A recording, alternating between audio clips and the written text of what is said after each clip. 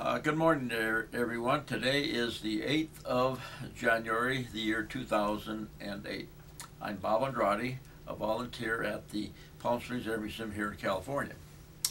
Part of our mission is to record and preserve the history of our country's military conflicts, especially World War II. As part of the Veterans History Project of the Library of Congress in Washington, D.C., we conduct interviews of veterans and civilians who participate in these conflicts. Today, I'm here at uh, the museum along with fellow volunteer Jeff Gibbon. Uh, today we have the honor and privilege of interviewing Hal Mueller. Hal uh, was a prisoner of war in the Battle of the Bulge. This was 1944-45. So we're going to talk to him about that and a lot of other things. Nice to have you here, Hal. Thank you. Okay. Okay. Turn it off now. Okay, Hal, uh, would you spell spell your full uh, first and last name? First name Harold, H A R O L D, also known as Hal, H A L. Uh, last name Mueller, M U E L L E R. um, where were you born? St. Louis, Missouri. How about your uh, parents? Uh, your mother? Where's your father from? I'm sorry. Well, your father. Where's he from? Well, he was he was born in uh, Collinsville, Illinois, which is just right across the river from St. Louis. And your mother? Uh, she was born in Maplewood, Missouri, which is a, a suburb of St. Louis. Uh, how, how did they meet? Do you know? Uh, well, they they both belonged to a uh, in their teenage years. Well, I guess my mom was 18 and my dad was seven years older, so he was 25. And uh, they had what they call the Young People's Group at their church in Maplewood. And uh, he came there one Sunday to attend a church, and they were having a little picnic after the church service. And uh, he saw this cute gal that he thought he'd like to get acquainted with. And so he went over and began to talk to her, and it was my mother. Wow. Do you, do you remember your grandparents at all? Oh, yes. Can you tell us a little bit about them? On, on both sides. Well, um, on my mother's side, um, the, um, well, going back to her grandparents, uh, they came over from Germany uh, right before the American Civil War. It would have been about the 1838, 1840, right in there. And uh, they came over from Germany because the Germans, the German Christians were being persecuted or they felt they were persecuted in, in, in Europe. And so these Lutheran Germans German Lutherans um, decided, let's go to America so we can worship freely as we as we choose. And so they were part of that immigration. And they came on on five little wooden ships. I mean, I'm remembering the story that my grandparents talked about. And four of those little ships made it to New Orleans one of them was lost at sea because they were sailing ships. Got caught up in a storm and was lost at sea. They landed in New Orleans and there they got on a on a paddle wheel boat going up the Mississippi to to St. Louis and uh, in, in the area around about St. Louis. Some of them were tradesmen, there was uh, tinsmiths, carpenters, uh, painters, etc., that sort of thing, shopkeepers. Others were farmers, so some, so some of them went to a plot of ground, oh, about 70 miles south of St. Louis, uh, right off the Mississippi River, which was a bottomland where periodically there was flooding, which would bring good, rich soil down from the Missouri River, on the plains, and it was a good place to grow crops And so the farmers were in their in their environment, and shopkeepers shopkeepers were in the towns where they could ply their trades. And uh, so that's the early history of that particular immigration. How about your father's side? Uh, my father's side, his father came um, through America. Um, it was in the early 18, no, middle, middle 1800s. He was a teenager, and he was over in in Germany, and it was the time of the war that was called the, or some historians call it the Seven Year War. Uh, others called it the uh, um, Franco-Prussian War, where France and Germany were going head to head. And in order to avoid being drafted into, into the military, he decided he would go to go to America. And so he arrived in in Boston, and there he learned the uh, hair cutting trade. And um, so, and he also met his future wife.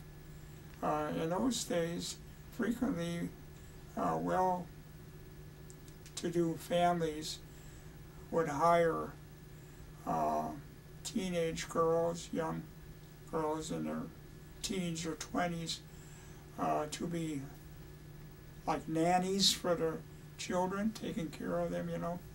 And so there was one of these young girls there in Boston that my grandfather on my dad's side, Conrad Miller, met this young lady and they fell in love and they got married. But then he decided he wanted to live in the Midwest, so he he then came to Collinsville, Missouri, like I said, across the Mississippi from St. Louis, and he set up his job, his his um, barber shop there in Collinsville. Very, he was a loving man, but he was a man with a lot of personal ego, and he used to like to walk the on Sunday afternoons and etc. He used to like to walk the uh, the streets of the town, and you know, uh, elderly men in those days would have a cane. They'd always carry a cane, or he wouldn't lean on his cane, but he he'd flick that thing like it was a, a baton, you know, and um, he was a real fun guy, and I remember that frequently he would come to our home, particularly my dad would pick him up in the winter time, and we had a nice home there in St. Louis that had a, uh, was a new home that my folks had built, and had a big open fireplace, and we'd always, particularly on Sunday evenings, we'd have a nice warm log fire going in the fireplace, and then my my grandfather then would begin to tell his his uh, tales about his boy his boyhood in Germany, and uh, talked about the various things, and I remember those things, and so when I was a prisoner of war, and the Germans marched us for oh I don't know miles and miles and miles. Uh, first to once what we call the Stalag, which was a barbed wire enclosure, and we'd be there for a few days, and then they'd move on, walking again to another one. And I just went to three or four of those stalags. But I noticed as we walked along, and this was in the dead of winter, when and I don't know how many kilometers and in miles, maybe 50, 60 miles in total we walked.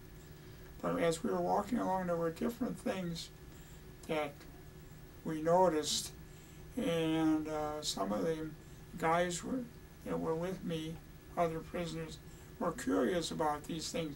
And one of these things were great big hopped up piles of stuff on the side of the road, and it was kind of black stuff, and it had snow on top, but it was kind of like steam coming off of it, And he wondered what, what that was. I said, oh, I know what that is, because my grandfather talked about that. These were manure piles. And because the manure were laying like that in the cold weather would produce heat, and that heat would steam up and come up. And he also said people were very proud of their manure piles because the bigger their manure pile was, meant that that's how many more cattle they had than anybody else. And so that was a mark of distinction. distinction. Well, that's really interesting. Uh, now, uh, your schooling, where was your schooling? Did, uh, your your primary schooling on up? How did you did you stay in the same town for your, all your schooling? Well, uh, beginning in the car, kindergarten, I was a member of the Lutheran Church, and they had a a, a, uh, kindergarten through eighth grade grammar school, and I went all the way through that grammar school. And in 1938, I guess it was, I graduated from uh, from Holy Cross Lutheran School, and then I went to a public high school, Cleveland High School in South St. Louis, for four years. Yeah, and uh, then you uh, then um, did you, uh, you were involved in sports or anything while you were in school? Well, I, I ran the mile run in, in, in track and uh, got very much involved in, in the art department. And uh, in addition to the required subjects like English and math and took algebra, uh, didn't get into trig and, and calculus and, and those higher uh, mathematics, but algebra. And in art, um, I was in art classes, and I was uh, joined up the what they call the stagecraft, which when the school would put on a, uh, on an activity, uh, a play or something like that, we would build all the the um, scenery, and that meant a lot of painting tree foliage and that sort of thing. So it was a lot of fun. So I learned how to set up stage uh, settings too at the same time. Did you have any girlfriends? Oh, uh, no, I had a gal that I kind of liked, but she had ambitions beyond mine. She she finally uh, married some guy whose husband, whose father was in what they called a green uh, farmer at that time. There were small, in addition to big farms around um, around St. Louis, there was small what they call truck farms, where guys, farmers, would grow specific crops, like, like they'd have have a, a small cornfield, a small field where they were growing asparagus, another uh, plot where they had uh, maybe carrots, another were radishes, and they'd they'd harvest this stuff and take it into town, and there they'd have uh, places. There was a market where people would, could come and shop that would have all these things that had been grown in those places. And so uh, this girl that I had uh, had a liking to, uh, she had her eye on the son of one of these guys because he was doing terrifically well and I think she she thought more of, of what her future was going to be with him. I don't think she ever considered me as as being husband material as far as she was concerned. Yeah. Did you have any brothers or sisters? Uh, I was. I used to always say I was the ham in a ham sandwich. I had a sister that was three years older than I, and a sister four years younger than me. So I was I was the middle of three, three kids. How did you, can you remember uh, how you went through the uh, Great Depression?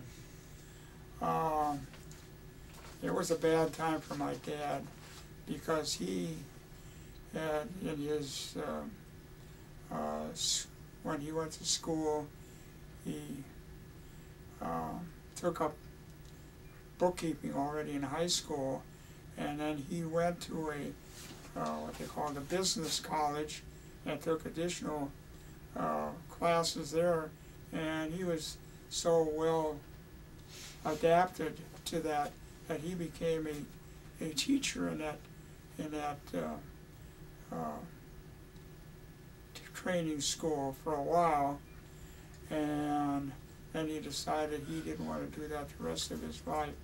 So then he took up um, his trade for a while for his in his dad's barber shop. But he even used to tell stories about uh, he was one of well there, were twelve children in his family. Um, he had five sisters and there were seven boys, and each one of the boys was tra- trained in the bar in the barber shop when they were say five or six years old up till the time they were about eight or nine they would they would shine shoes in the in the barber shop. And when they got to be about nine then then they were allowed to stand on a stool and trim around the, the sideburns and that sort of thing. And when they got a little older then they then they were allowed to shave. And I could I could never conceive of that because they didn't have safety razors or electric. They used a straight razor, you know, going going on a guy's chin. I I never let some kids lather me up and have a straight razor in my throat, you know. But anyway, that's the way they did it in those days. And so, anyway, then later on, uh, well, from little on up, I never sat, I never had a, a professional uh, barber give me a haircut. My dad always gave me a haircut. And uh, his older brother over in Collinsville had a barber shop. And so when we go over and visit him, then uh, my, my dad would put me in the regular barber chair and give me my haircut in that barber chair, and I always liked that because then I figured I was getting a real haircut. But he was he was one and he, one of the earliest ones of giving a what we call the crew cut, you know, a butch. And so, from the time I was, um, oh, probably eight or nine years old until I went into the service, uh, I was always had a what my dad called a pompadour, which was a, a butch type haircut. And not, not until I got into the service did I ever have what I consider a real professional haircut. And that was just practically taking taking it down to the skin.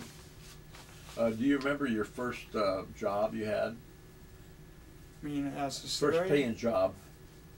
As, as Yeah, young- I, wa- I- when I was in high school, got a job at a supermarket.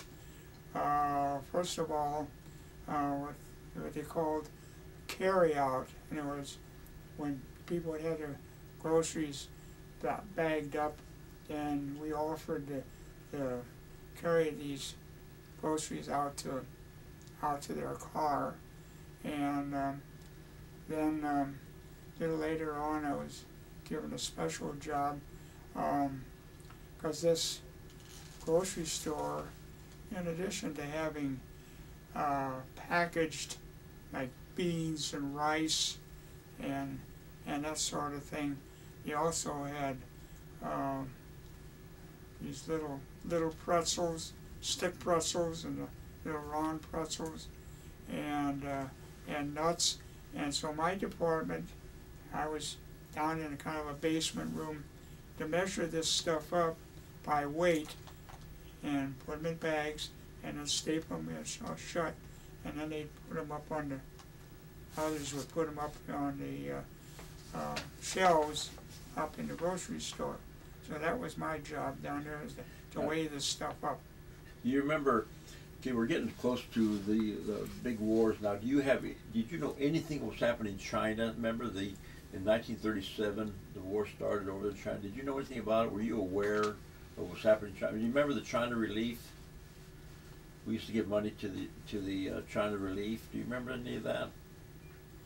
No, most of my knowledge was Okay, how about well, I knew a little bit about that. Something was going on over there, but uh, most of what we got in our news there in St. Louis and, and in school and so on and so forth about what was going on in Europe. And you were aware of, of, of the, the rise of Hitler, is that right? Oh yeah, definitely.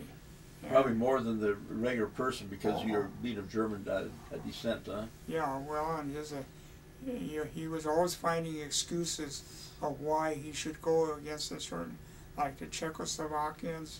He, um, he set up, of course, this was revealed later on, it wasn't at the time, he claimed that the Czechs had attacked his troops, that he had them on the Czech border uh, to protect Germany, and uh, but later on it came out that he uh,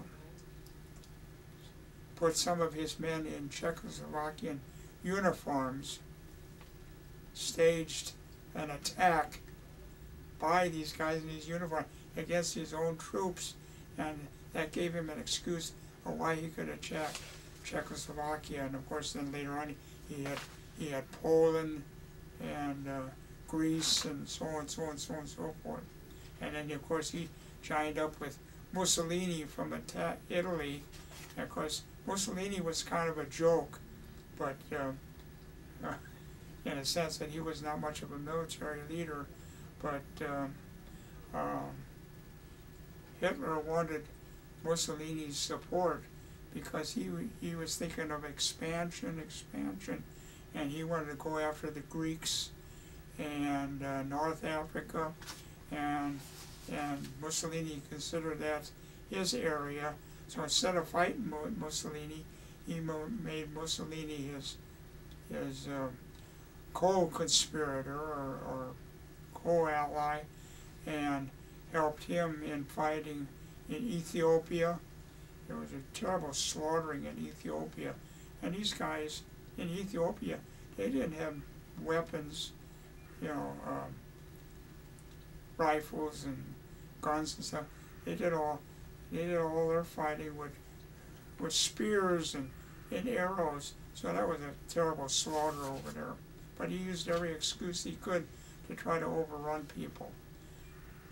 Um, now, did you have a, a, a kind of religious background at all? And Oh yes, I um, I well my I, I think I as I re- remarked earlier that my family was part of the German immigration to America in the 1800s, bringing the Lutheran Church over to America, and uh, they moved up.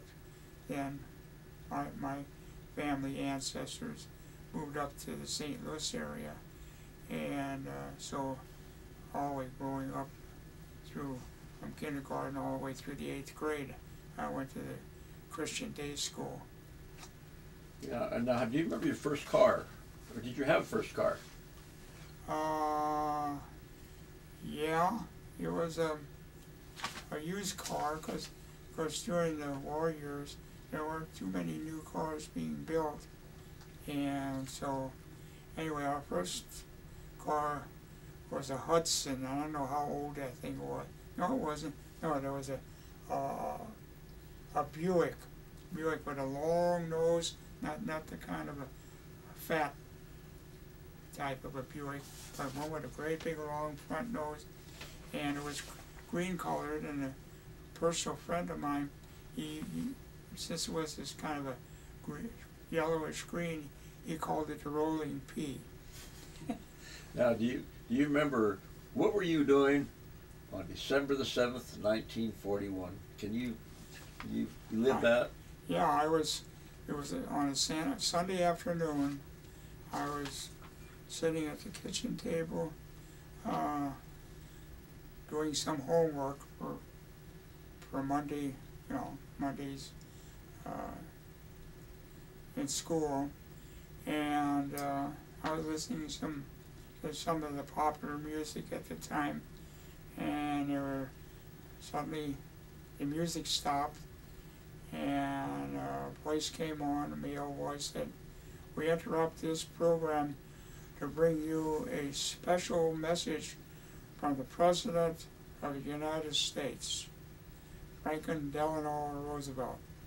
And his voice came on, my fellow Americans, uh, I have the unhappy duty to inform you that this morning at about 7 o'clock a.m.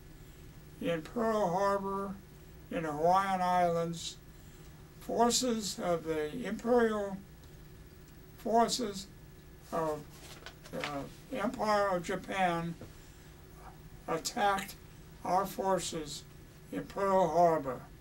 And even as I speak, that battle is going on. So that was our first, and that's when the Japs came in. We knew that Hitler was doing his thing, but it, and the only involvement up to that point um, for America was that we were called the um, warehouse for democracy.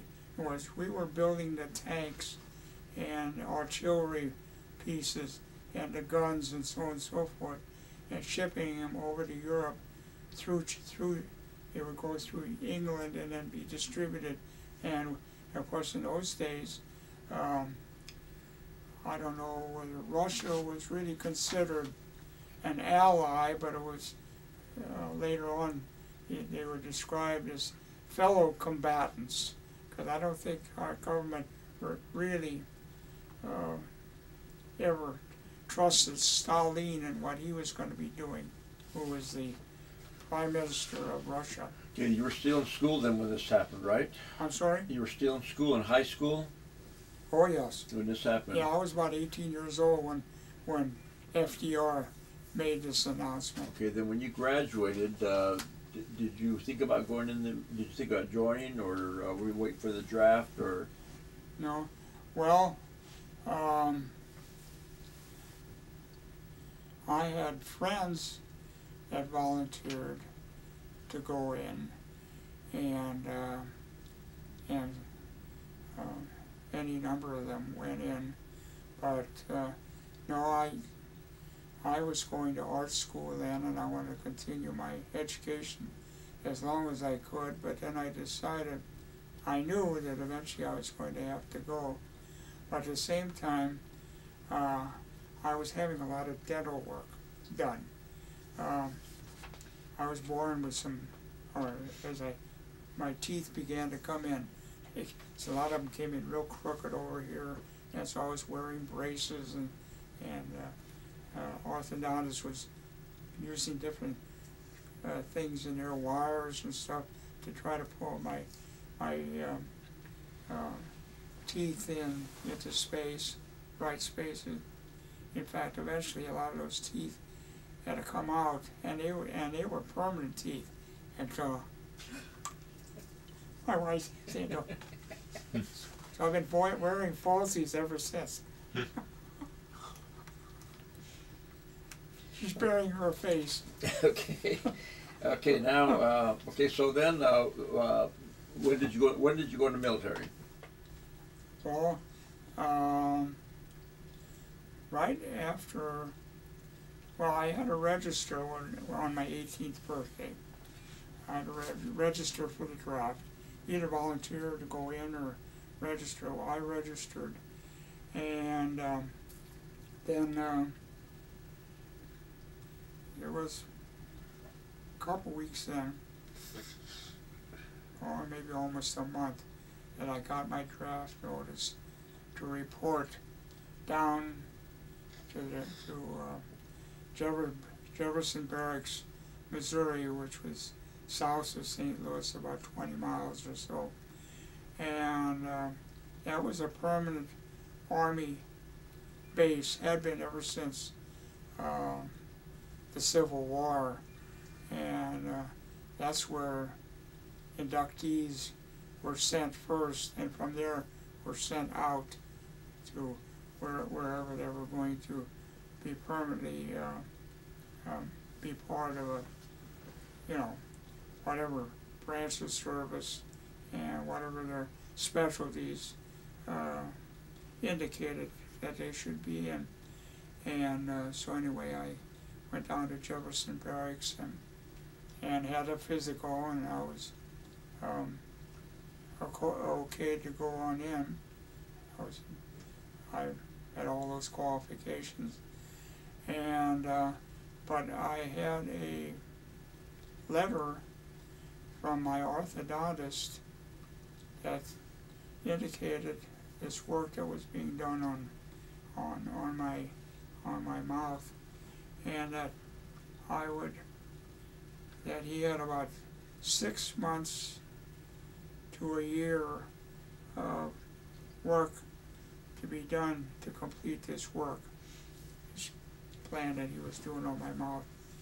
And so he uh, wrote this le- letter to the to the uh, draft board, and uh, he, he was sure that I would get the deferment because he was a personal friend of the of the uh, officer down at the draft board that would be re- receiving this request, and he actually phoned him in addition to me having this this letter, and so anyway, um, when I got home, I told my mom about this. Of course, she was real upset because she figured, well, I was gonna be going in pretty soon, but anyway, she says, well, you you take that letter with you when you when you go down to Jefferson Barracks, and you show them so that you can get this deferment.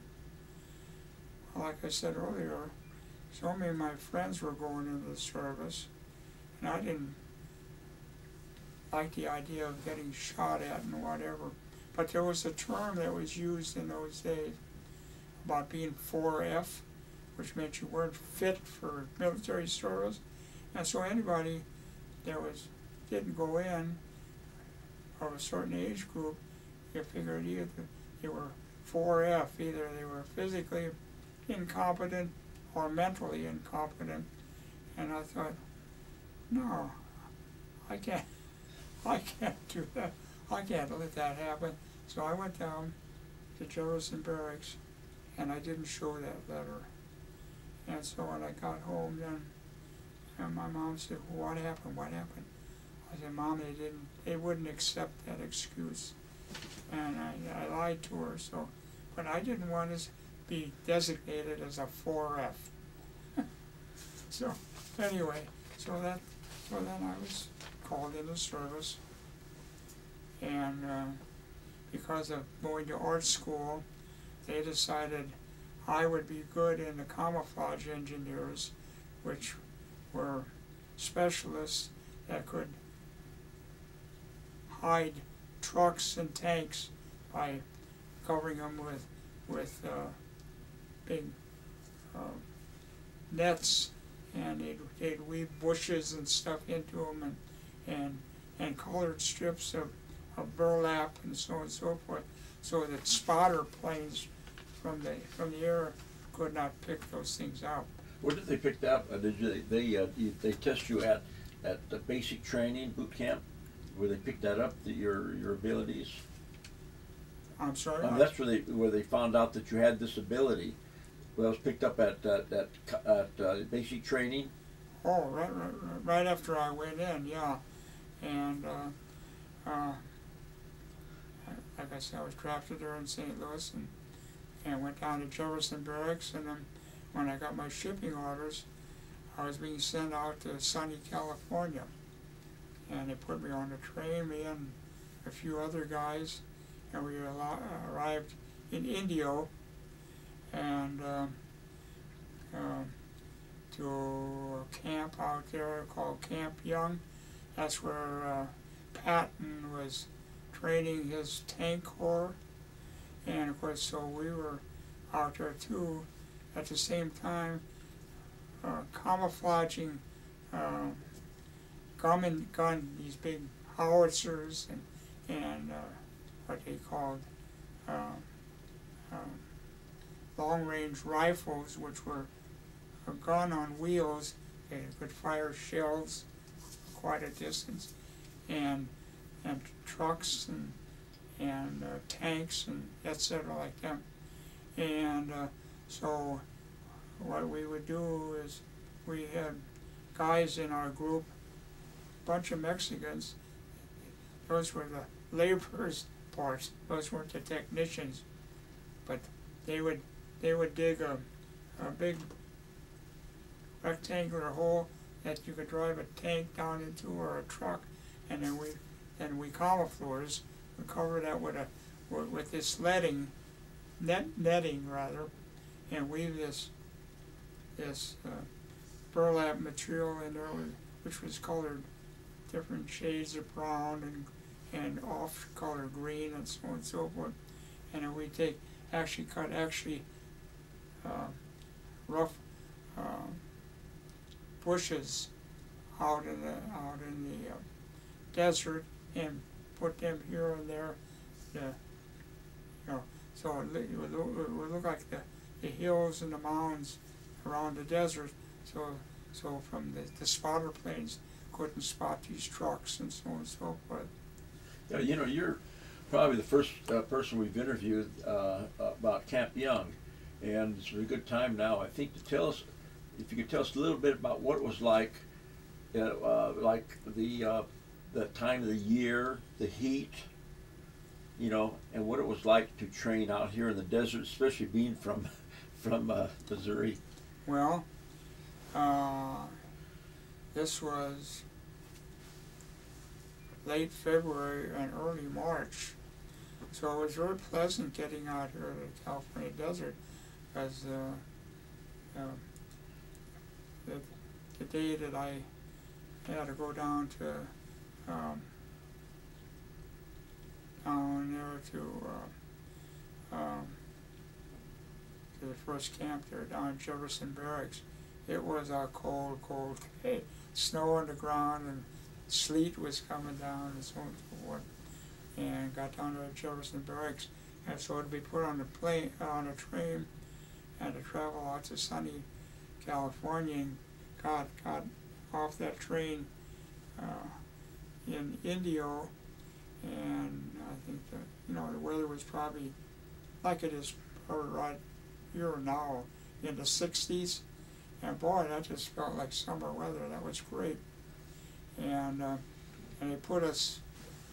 There were oh, there were about 75 of us or something like that that came out there and got off that train. And so they had a couple of those personnel carriers, you know, that could hold about 30 guys, 30, 35 guys.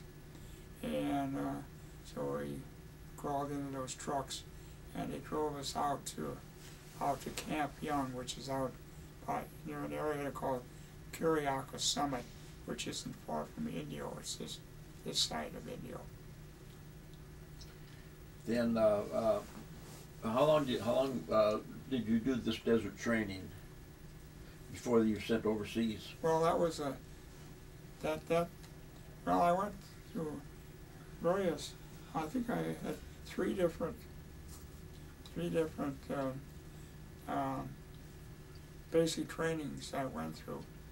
Because I went through that one, that first one out there at uh, at Camp Young, and then we had a big bulletin board, and we were always told keep your eye on the bulletin board because you'll be told certain unusual things or important things that you're not verbally told while you're lined up in the ranks. And so I kept my eye on it.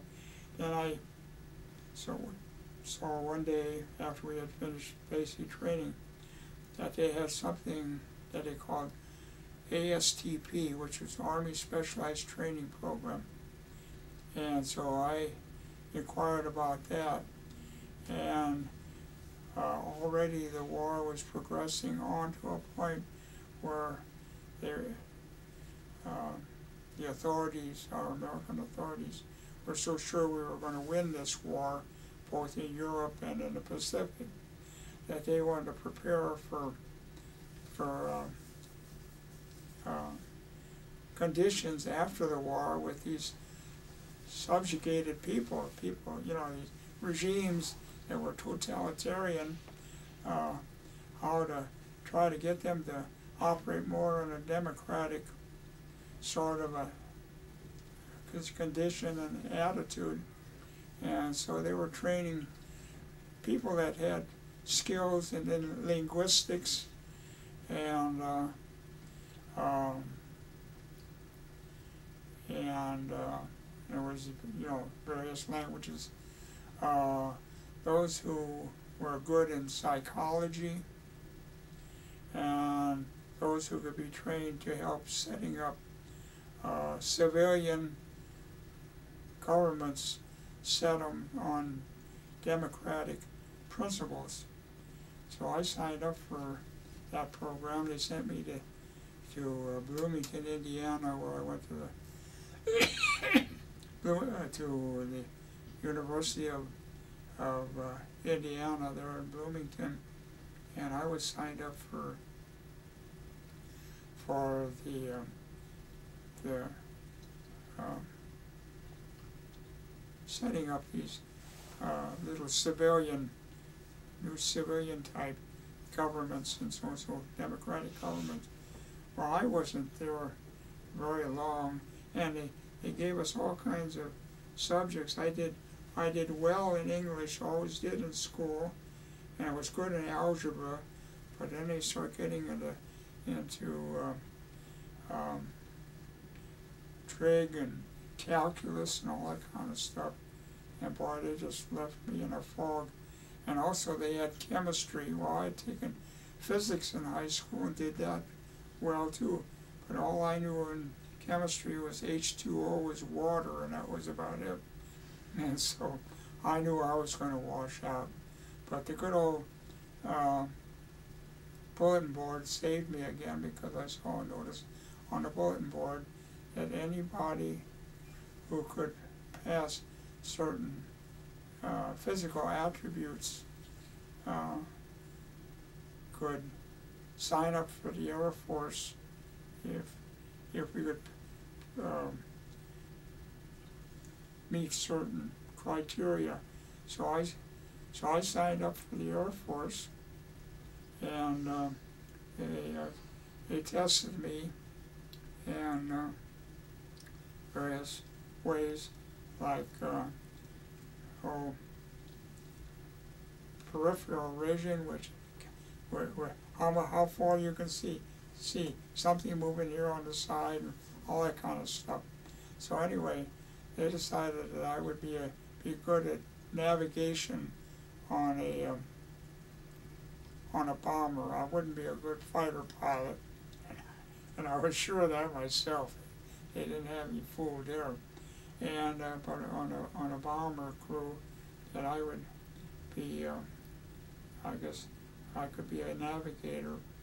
And uh, so anyway so they, I was shipped down to Sheppard Field Texas which is just south of of the Oklahoma border.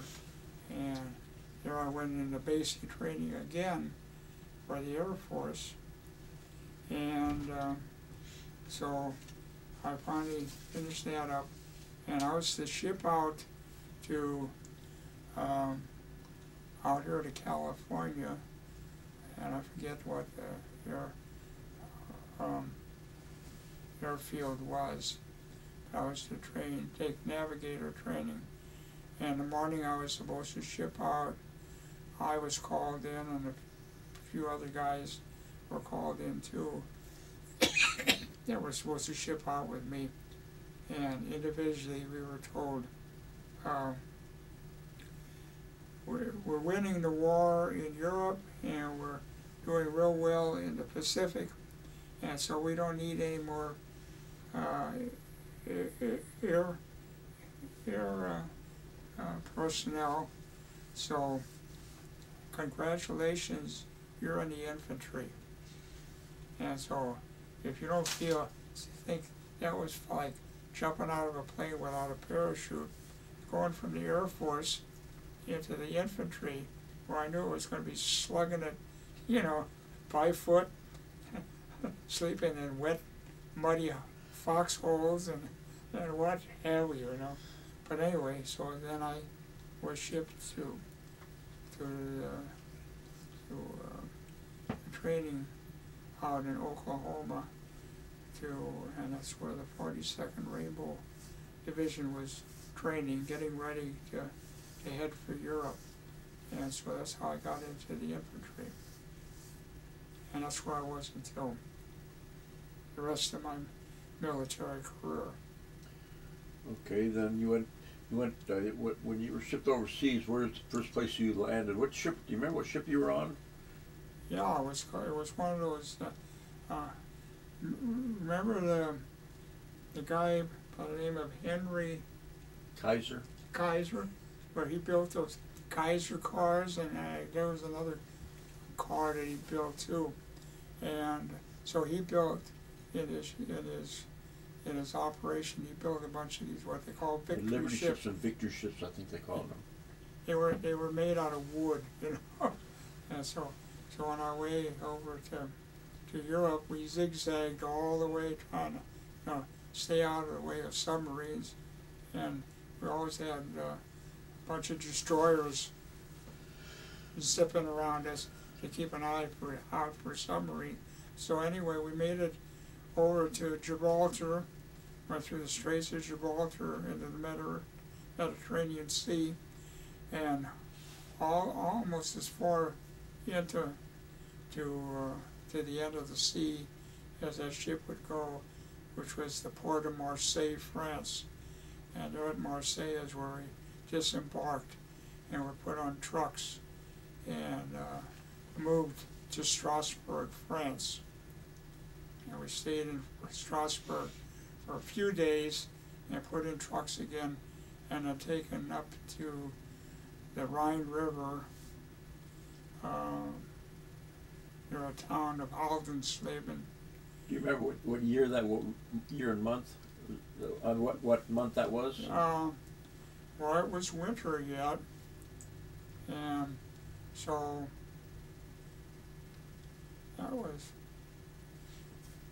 latter part of February. Yeah, the latter part of February, and because I know it was it was cold, we stood guard duty at night, you know, and and um, we we dig a, a depression in the ground when we got up there to, to the front. Um, that a hole about as big big as this room and about as deep as up to those shelves there, and then so we would get down in that hole and covered covered ourselves up with tarpaulins, and and a couple of guys would be on duty, but about six of us would be in that over overnight at one time, and we take turns, two two guys at a time, always peeking out from under that tarp to see if there weren't any Germans sneaking up on us, and uh, that's where we were the morning that of January fifth, when the Germans came through and completely surrounded us, and that was the start of my uh, my uh, time as uh, the guest of the German government. Could you, uh, it was January, do you remember the date? That was January the fifth, January fifth? and so I was a prisoner of war from January the fifth until April the thirteenth, and that's when we were liberated. And it was Friday the thirteenth, so if I've ever been super, so, su- superstitious, I'm positively superstitious. There's nothing wrong with Friday the thirteenth. Yeah. Some people won't do anything on Friday the thirteenth. They figure it's bad luck. Okay, then you, you were, you were captured, how were you captured? Were you just, uh, surrounded or, Well, um, how, how, I- were I you was- there before you were captured? pardon, How long were you there before you were captured? Out, out there, uh, outside of Strasbourg. Right. Uh, in Haldensleben. We were there probably a couple of days, and, uh, so I, I drew guard duty on, on, uh, I guess that was January the fourth. Um, and, uh, and like I said, there were six of us that were part of that guard detail. So at uh, five o'clock in the morning, I was awakened, and, and another guy with me to go out and, and be on, take out uh, shift uh, on on guard duty, and and uh, oh, probably about six thirty something like that.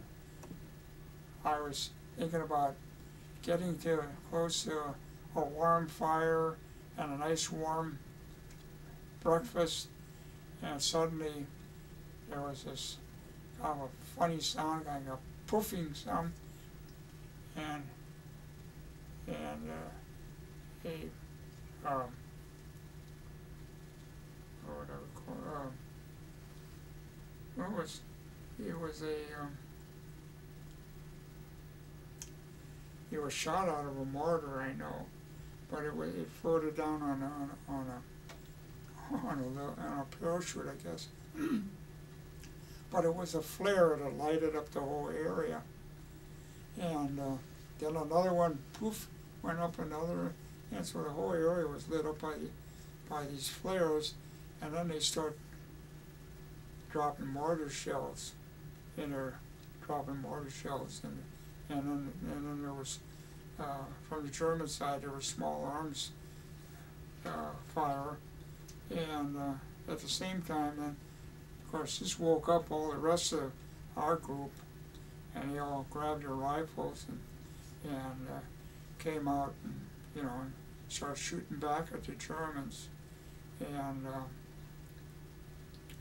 so anyway, and uh,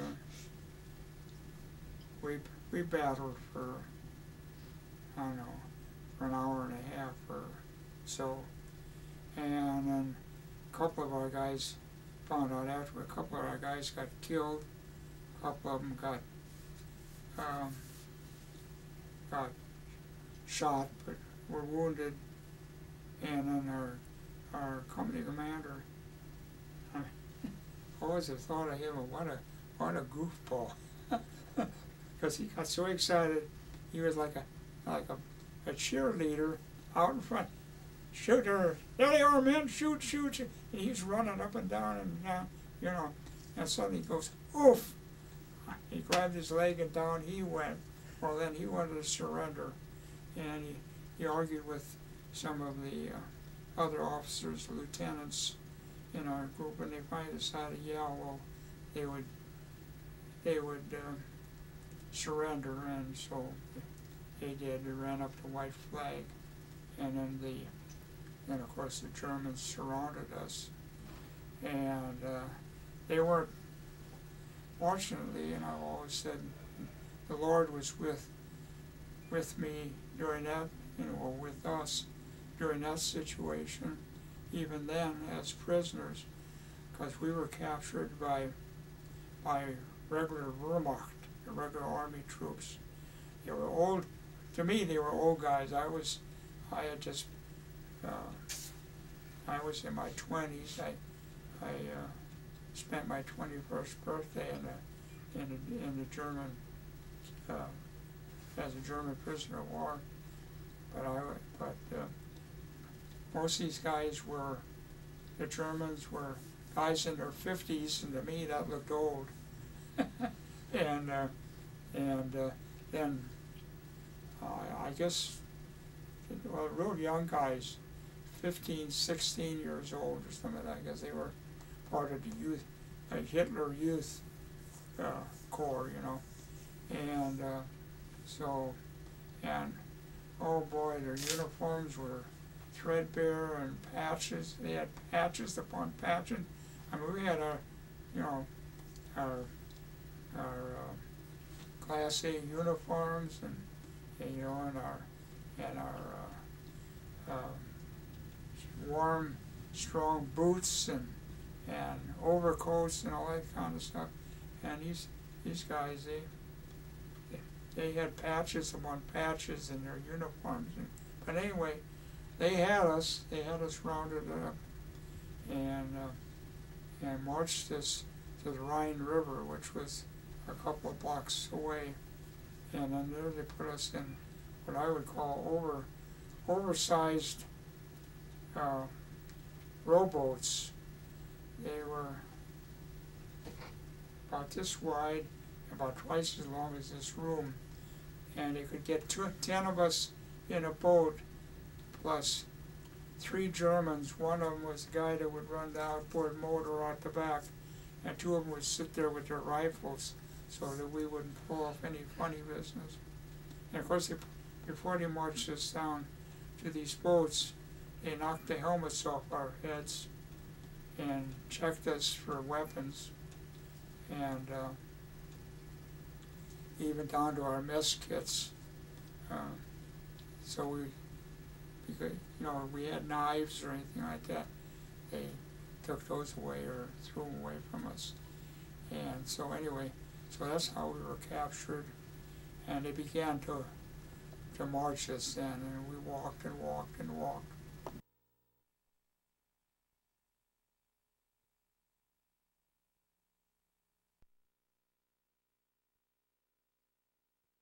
Wait, wait, okay, ready? Okay, go. Rhine River. There's Strasbourg. Of course, a little town which is Okay, ready? Okay, go. Rhine River. There's Strasbourg. And of course, a little town which isn't noted on here, it was right on the river at Haltensleben. And so there we were put in those, what I call oversized rowboats, and taken across the river and and well I guess we were well I shouldn't say guess. but Anyway, we were taken to Stalag five here at Offenburg. And we were only there for a short length of time, I say short length time, maybe three days. And they got us out and started walking us again. And then we went down here to Stalag 5B, Willenberg. I remember that. Because we were pretty close to Switzerland at that point.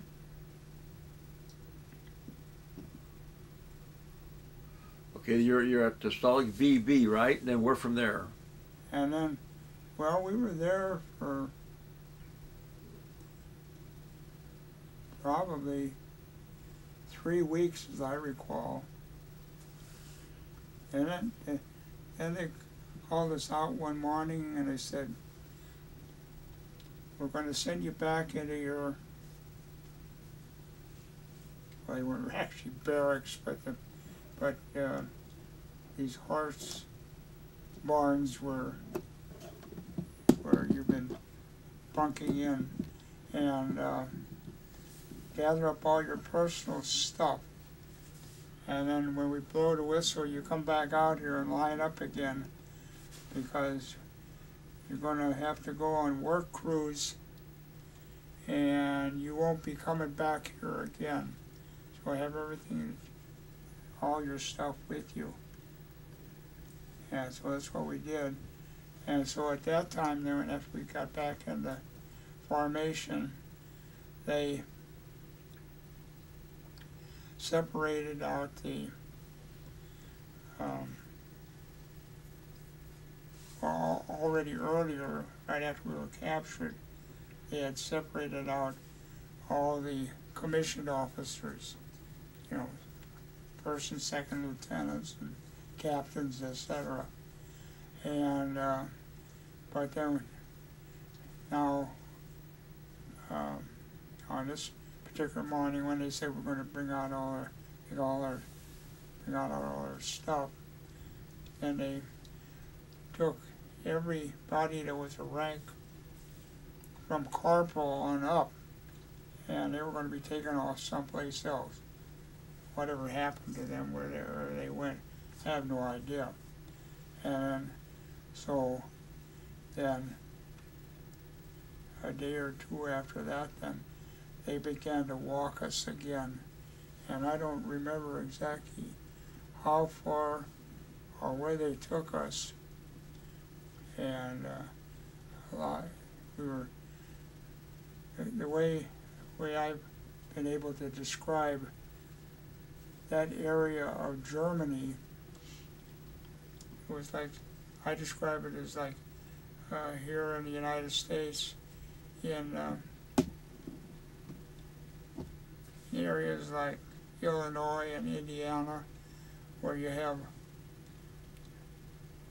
major highways, but then there are secondary roads that are paved, but a lot of times they're just gravel roads and and are semi-paved, or they're, they're not they're not high-speed highways. Um, and you know, and you have a town about every five five to seven miles. You drive out of one town, and it's not long. You're you're coming to the entrance to another town, and that's where the towns were over there, and but uh, the only thing we saw on those main highways going by would be German military vehicles, and then on the secondary roads, where you see people driving farm wagons, and there were too many of those, and the pedestrians, and that's that's where we were walked on these on these secondary roads. But anyway, I do remember this town of Villingen, and then there there was a stalag there. What's this stalag? Five B. Five B, Five B, okay, Yeah. and we were there for probably six six days, and then that's when they told us that we were going to uh, be leaving, and we weren't coming back to that area, and to bring all your personal belongings, whatever you have, and you're going to be sent out on work detail. and uh, so they said, well, now we're going to give you an opportunity to volunteer on your work details, and uh, if if we don't get enough volunteers, then we'll just give it the old um, military way, um, you, you, you, and you. And uh, so anyway, so they called out a hundred guys that were going to go on some project somewhere, and I don't know what it was. Um, and that didn't, and they got their hundred guys together, and, and they moved on with them. Then they had a, another hundred that they needed, and uh, they called off wherever that was. And my buddy McCoy and myself, we weren't interested in that either. Then they said, okay, now we need 40 volunteers, and this uh, group is going up into the northern part of Germany uh, to cut wood. We thought, hey, that sounds that sounds pretty good. We're uh, and so anyway, so then we were put in on on a train, and uh, there are these little small trains. Maybe you've seen the uh, wartime movie like uh, um, oh, trying to think of Schindler's List, that movie, and uh, and uh, I remember when I was a kid on uh, Armistice Day, I guess it was, or Veterans Day, they'd always have a big parade in St. Louis, and of course the VFW was part of that, and the, and American Legion, and they have big floats and and bands and so on and so forth. And they they they'd always have uh, a couple of these little kind of boxcar things, but they weren't on. They they removed them off of the. Uh, you know the kind of wheels that you have to run on a track and put regular wagon wheels on them or something like that, or or inflatable wheels, and pulled by a couple of horses. but there was a um, a um, veterans group out of World War One that they called them the 40 and 8s because these were guys that during World War One, uh, when they traveled anywhere in, in France and Germany, they were called the 40 and 1 because these little box cars would car, carry, uh, or 40 and 8, these little box cars would carry 40 men and 8 horses. That's where they, that's where they got the 40 and 8 part. And so these these veterans they had their own organization. And uh, but anyway, we didn't have any horses with us. They put us in this train, and uh, they had two um, 50 gallon drums they put aboard in in the uh, in this um, uh, car that we were in and I don't know how many of these cars there were, in addition to the en- engine and and the uh, coal tender, and uh, I don't even know if the thing had a caboose on the end. But anyway, uh, so um, there were 35 or 40 of us in our particular car, and um, the door was shut. They padlocked it, and uh, the only, and it was cold. It was in the dead of winter, so we knew we didn't need any heat, but you kind of kind of like to have the idea that you kind of had a wondered where where where we might go be going, and and uh, country or or the neighborhoods or whatever we're going through or through the towns. So there was like a little up up near the near the roof there was like a little window about this wide that you could slide open, and so so we we take turns looking out to see what the scenery looked like going by, and if there was anything unusual, you could report to the rest of the guys in the car. But anyway, I don't know how many days we were in that car, and they would stop periodically at some town. Uh, when I say periodically, maybe twice a day, and they'd refill the uh,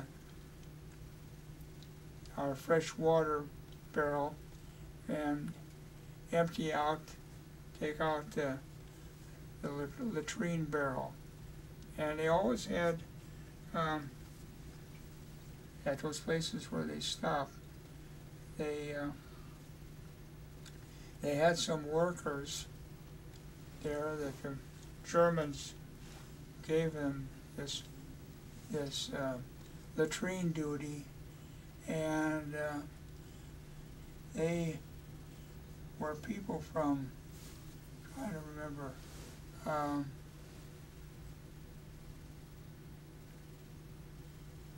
they weren't Russians.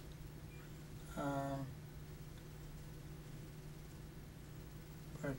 They were from an area up near near near Russia, or uh, up in here, and um, forget what they called them.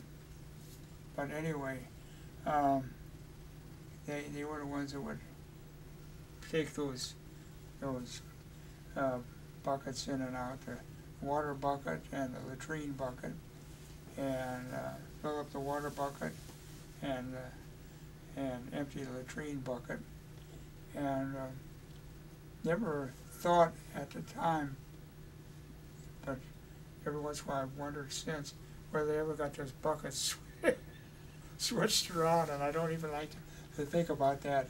But anyway, in the dead of winter, didn't do too much drinking, but didn't want didn't want to drink a lot because you know it would make it inconvenience if you if you had to wait till they stopped somewhere before you could relieve yourself. But anyway, we we uh, traveled for a couple of days until we got up into into northern Germany, and I'm still looking here.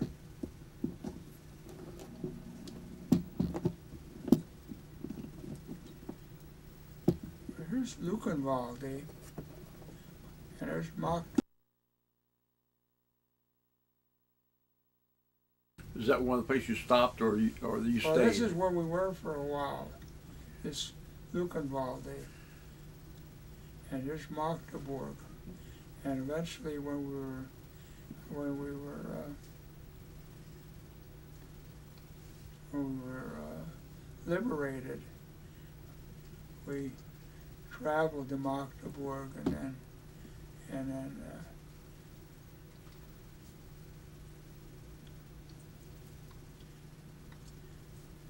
see they don't show some of these small towns that we were in. But anyway, yeah, we we rode, and of course this this train was going very slow, and it would stop stop frequently, like I said, because they they use the same tracks for going north and south, and uh, for troop trains and and. Uh, uh, you know, German troop trains and, and for whatever else, commerce and so on and so forth, freight trains, etc. And so the train did a lot of stopping and starting, and uh, but um, so eventually we did end up here, like I say, at Luckenwalde. Oh, here's Berlin right up here. And uh, so,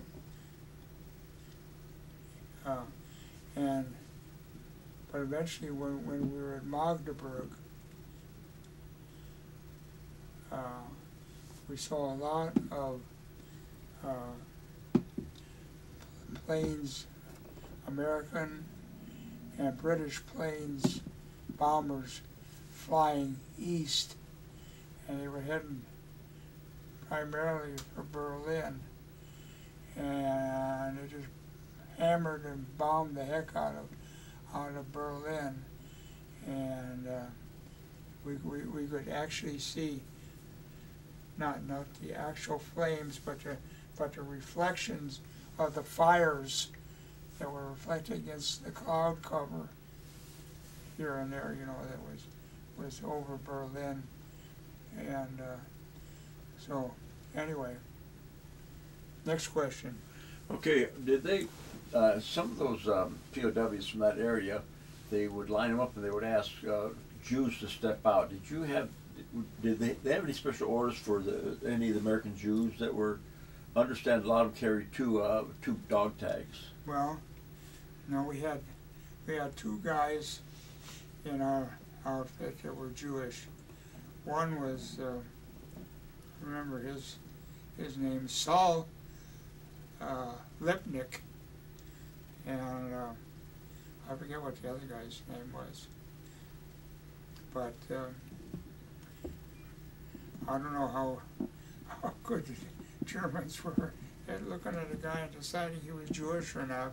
But they they they begged everybody not to not to gi- gi- give give away the fact that they were um, um, you know that they were Jewish. And then one other situation too is when we were captured.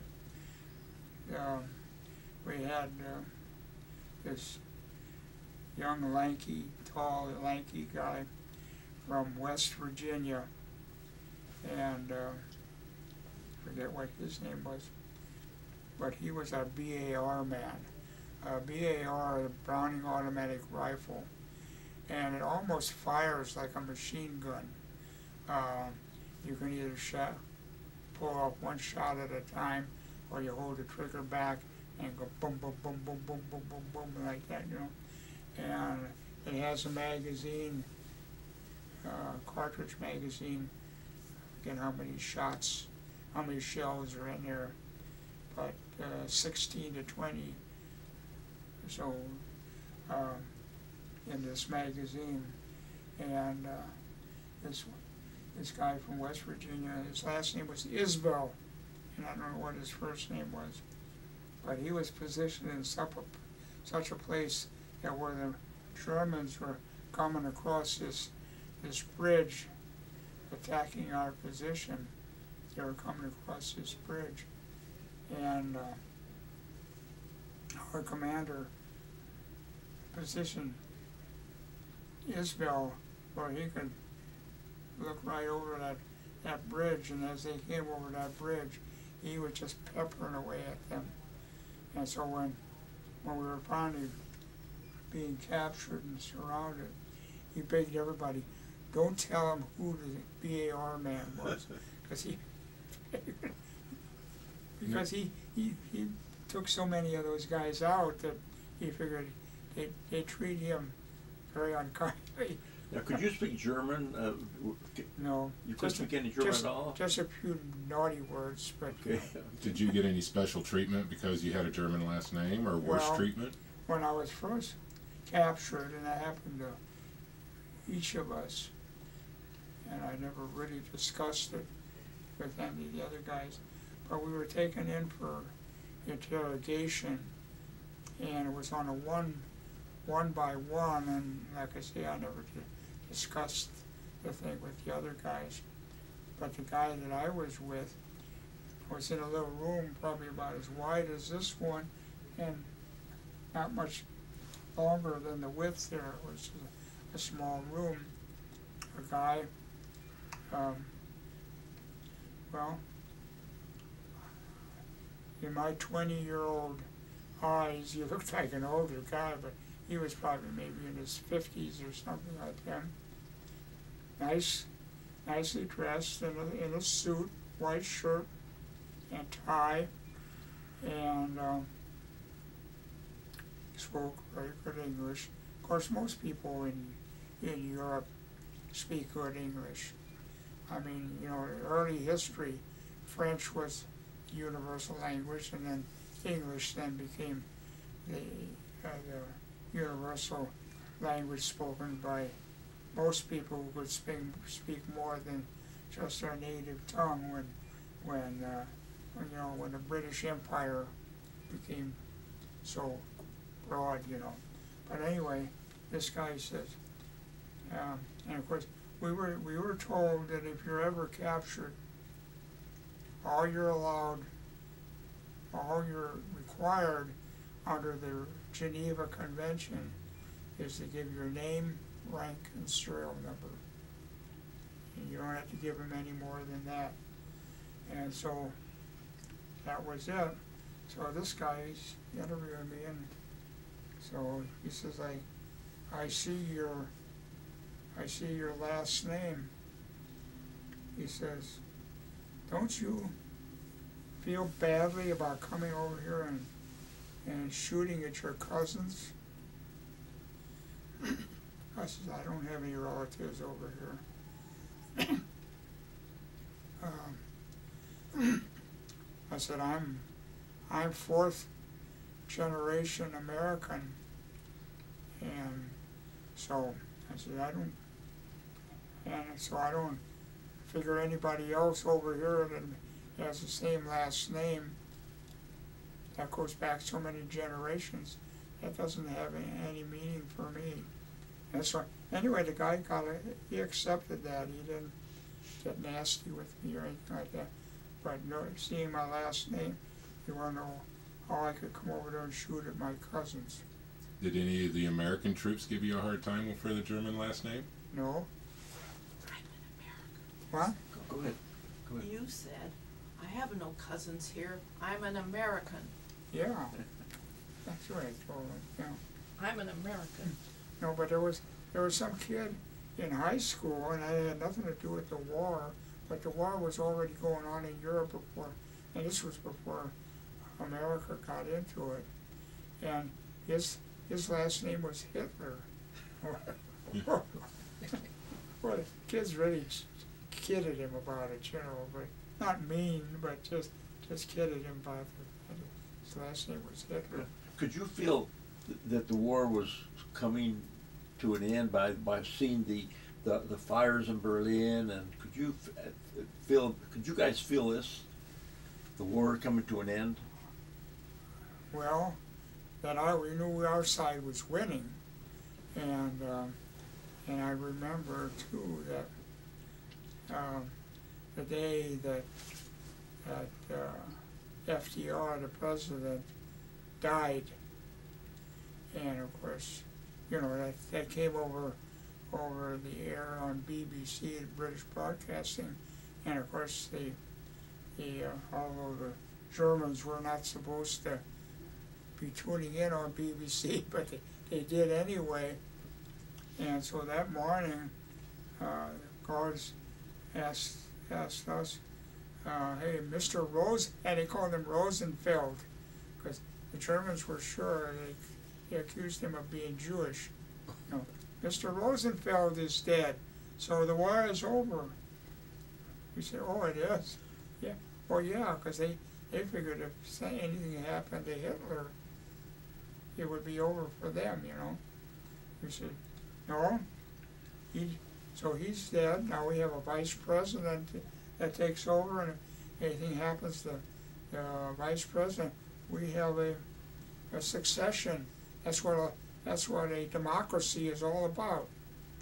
And I said, I know the next one in line after, after, uh, um, oh, Harry Truman would be the Secretary of Labor, whoever that was. I don't know why, why that particular position, but anyway, they, they had a, uh, chain of succession that, uh, would go through the whole cabinet, you know, which is, I don't know how many people, ten or twelve different people, before they would run out of leaders, and you're sure some general would take over or something like that, you know. So, anyway, yeah, but because Roosevelt was dead, that meant we were gonna surrender. How were you treated in general in, in, in those Stalags, now that you're, you're at the, you're at your last Stalag now? Well, like I think I perhaps as I mentioned earlier, I always figured that um, part of the Lord's blessing is for me, and his, part of His protection was that I wasn't captured by any, any of these rabid, uh, you know, SS types, and uh, there was another bunch that were um, pretty, pretty radical as far as hatred and, and uh, things that they, they did to people that uh, were, were under their uh, control. But um, these were regular, regular German army troops. And, uh, know, these guys, I can't agree with what they're doing, but they're, they're gonna they're going to obey their commanders and so on and so forth. What are they going to do? Refuse to do the carry out their orders? You know. Okay, how, now, you're, now, can you tell us that day, what it was like when you were liberated? Oh my, what a day that was. Um, well, like I say, through the BBC, British Broadcasting, um, news of how the different forces were moving and so on and so forth were reported. And our, our guards, I think they definitely saw the handwriting on the wall. They, you know, and they, they were moderately friendly. They would talk through the, through the, through the fences. Some of our guys, and a couple of our guys could speak real good German. And of course, the Germans could speak decent English. And uh, they would tell us what they had heard on BBC. But uh, the BBC reports uh, would report where the Russian troops were, Russian forces were, and the British American, you know, troops were. And so we were always pulling for our guys to get there, not the Russians. We figured those stupid Ruskies are gonna shoot every, any, any uniform that isn't one of theirs, you know? And so on, uh, on Friday, uh, oh, it was before that, it was on Wednesday, the eleventh of April, nineteen forty-five. Um, uh, one of our, one of our guys, kind of watching through the, through the fence said, hey, there's a bunch of civilians out here. Well, they weren't civilians, they were actually, actually, uh, uh, German guards, but they were all in civilian uniforms, or civilian clothing, and they had bicycles, and they were, they, they, they said they were taking off, they were going home, because, uh, a day or two before, um, their commanding sergeant or whatever had gotten uh, discharge papers for each one of them signed by some officer that had the authority. And so at any time that they felt that they had to take off and get out of there, they could fill in their name and the date, and that would be there, so they could. So it that- wouldn't be called desertion, right? so they weren't called deserters, yeah, right. And so they were taking off. So, anyway, so one of our guys said, well, can we have the key, can you open up the gate so we can get out of here? No, no, no, no, no, we can't do that. Well, they were afraid maybe some of our guys, just out of meanness and retaliation for whatever, would maybe jump them, you know. So we, we said, well, whoever was talking to him said, well, why don't you select somebody among your group? Maybe the guy that's the best bike rider or whatever, let the others go, and then the last thing that guy will do as he's pedaling off is throw those keys over the, over the fence, you know? And so uh, they agreed to do that. So, anyway, so we, we opened up the gate, but then we, we agreed among ourselves that don't anybody take off because we don't know where those crazy Russians are, or even some German troops that are going to see, you know, see you run around in what's left of your American uniforms, and you're gonna, you know, you're gonna, you're gonna get knocked off. You're gonna pay for your foolishness. So all of our guys stayed around, but a few of them uh, wanted to go into the neighborhood and get something other than that, that sour bread that was our, our, you know, our main food all the time. And they would go to some houses and knock on the door and ask for food and, and well, most of the time, they would be, uh, denied, you know, any handouts, but then when they, they would say something among themselves about the Ruskies, well, right away the people would be a little bit more cooperative and would give them some eggs and maybe some better bread than that sour, sourdough stuff we had. And, uh, so anyway, so that way we supplemented our meal. Well, and I wanna, one other thing I wanna report too, that I had a, a kind of a pretty good deal in that the, the first day or the second day that, that we were there in that Stalag by the stone quarry. Uh, the question was that, is there anybody here that can cook? Well, I raised, raised my hand, well, I was no cook, but I used to hang around the kitchen when my mom was making stuff, and I figured, they're not gonna make any, anything fancy here. And when it says cook, that means getting close to the food. So they said, well, when the rest of the guys uh, each day have to go down into the stone quarry at about eight o'clock in the morning, and you'll come down here by by the house that belongs to the owner of the stone quarry, and and you'll help this lady that that makes the soup. So you'll peel potatoes and anything else that she wants done. And so, anyway, uh, so every morning, and then at noontime, when there's a noon break, and they come up out of the quarry, then in the afternoon you join them and you go down to the quarry, and you help in the afternoon using sledgehammers, breaking, you know, big ones and the little ones down there in the stone quarry. So every morning I would go down to the cook shack and and peel potatoes and scrape carrots, and uh, in the afternoon I'd go join them down there.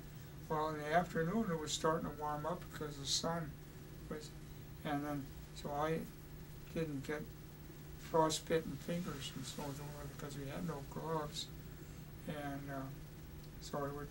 Well, it wasn't conditions down there in the quarry were because it was a pit type quarry, not a not a tunnel underground, and so um, that meant weather conditions weren't so bad in the afternoon. And then on Saturday before Easter was again a work day for us, and I went back down to the, the uh, um, quarry owner's house to, to uh, again do my my KP duty of peeling potatoes or whatever. And so when I was doing, as I was doing my work, uh, the owner of the uh, of the uh, or the wife of the owner of the quarry came in and and she asked me, well, um, you celebrate Easter at home? Said, yeah. Well, what happens? I said, well, Easter morning we go to church service to worship the the risen Lord, and then usually after that we go over my grandma's house for for a, a big dinner. But then I said, then for the for the kids, and we have colored eggs at, at uh, one of the grown-ups' hives, and we go for an Easter egg hunt. And so, anyway, then she, I went back to doing my my scraping and peeling of potatoes. A little while, she came came back and and um, had something wrapped in white paper, like butcher paper, and uh, when I opened it up, it was a piece of coffee cake about about this size, and crumb cake, and uh, she said, uh, she said, I've been saving the ingredients for this for this cake for quite a while for my for my family for Easter, but she says, I, I wanna I, I wanna share it with you, and so she said, so I'm gonna stand here in the doorway, and you go ahead and eat it, and don't eat it pretty fast, but if I give you a signal, you quick hide it, because the guards are not getting any of this. And I will get real angry at you and at me for me sharing this with you. So, anyway, so that, that's how I spent Easter on that particular day, still doing my, my cooking duties and eating this delicious coffee cake. I bet it didn't take long to eat it though, did it? No, it didn't. Know, anyway. So, next question. Okay, now you're, okay, now, show, the moment of liberation, the gates open and there was the Americans. What did they do with you? Well, Did no. they, did they uh, Well- interrogate you or Well, on, on, debrief you? on, on, on the eleventh, we were liberated on, on the thirteenth, but on the eleventh, that's when these guards, um, hop, put on their civilian clothes, hopped on their bicycles and took off. And so, anyway, on, um, on the thirteenth, on a Friday the thirteenth, uh, and we were there, and you know, we could get in and out of our prison camp because they left the keys with us. But, like I say, a couple of guys kind of scavengered in the neighborhood for some extra food. But other than that, we stayed right there. And on, on that morning, around, oh, probably eight o'clock or so, uh, we could hear a, a, a tank coming from a distance. It was gonna be coming from, from the west. And, um, and we could see down this road, oh, probably for about, the distance of about two city blocks, and then the road went around the corner, and we couldn't see, but we could tell the tank was coming from that direction. And, uh, so we were watching, and so first the Jeep came around the corner, and then followed right behind the Jeep was a, was a tack, tank. And both the Jeep and the tank had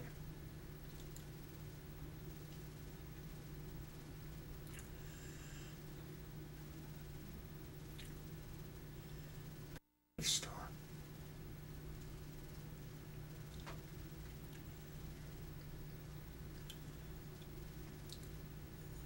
Big white star. And so we knew it was American because it was uh, Russian who had been red. So anyway, so the Jeep was a was a Jeep, in addition to Jeep driver was a uh, first or second lieutenant, and then behind him was this tank. Well, they were out, out on a reconnaissance, um, but they said they would radio back to the main, in, in, uh, our main lines, American lines, and give our location, and within a few days, then, then some, somebody would come, transportation, to get us out of there. And so that was on the eleventh.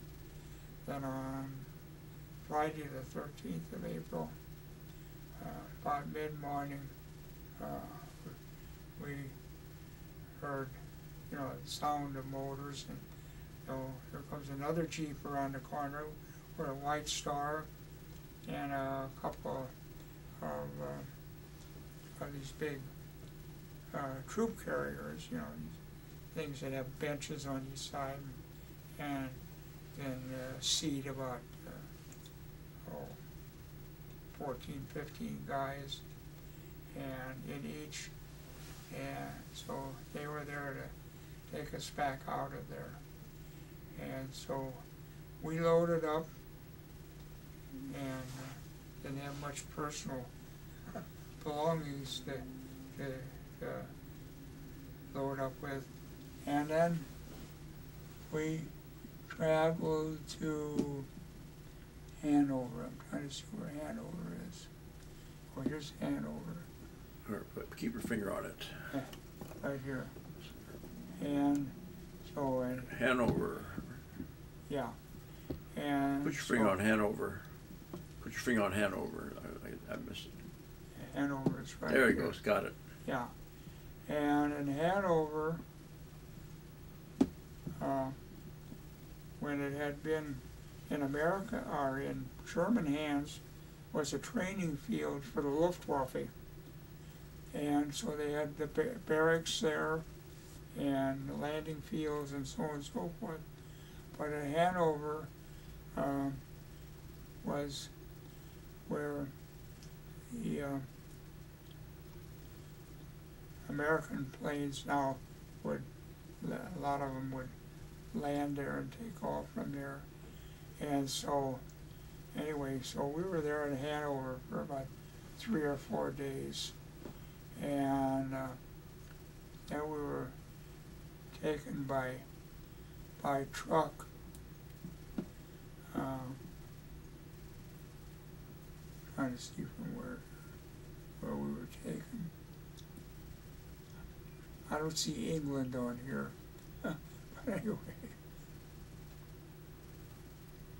But anyway, we were taken by truck from Hanover, uh, to, to the coast. And there we were taken over to, to England.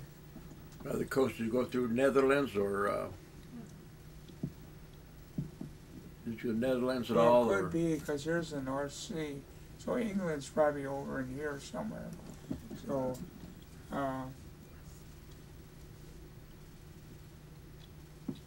so we were taken by hand over here.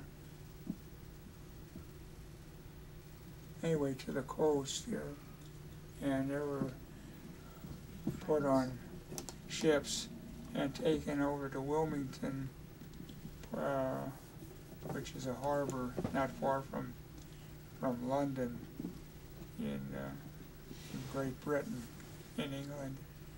And we were there for a few days, and then we put off to sea in those little wooden ships, and Know, there three or four of those ships with a squadron of destroyers, and uh, we made that voyage all the way across the Atlantic Ocean and came in at New York Harbor. And How'd of that course those destroy- Liberty look to you? these destroyers were zipping back and forth all the time, watching for submar- German submarines. Yeah, and then, boy, when we saw that lady with the torch, How many troops were liberated with you on the 13th, Friday the 13th? well, it was just, it was just the forty of us that were there at the stone quarry. And, uh, of course, then when we got to, to, uh, we got over to England, then, uh, there were quite a few others, maybe there were couple hundred of us that were at least on the, on the one ship that we were, that we were on. Um, but, uh, and of course, then we got into New York Harbor, and, uh, oh, actually we put in, into New Jersey, that's where the, uh, where we disembarked, and we were there in Jersey for about three days, and depending on where in the United States, different people, you know, of, of those liberated were, and, and somebody, uh, made travel arrangements as to what train to put us on or whatever. So I was put on a train with a few other guys heading for, for St. Louis.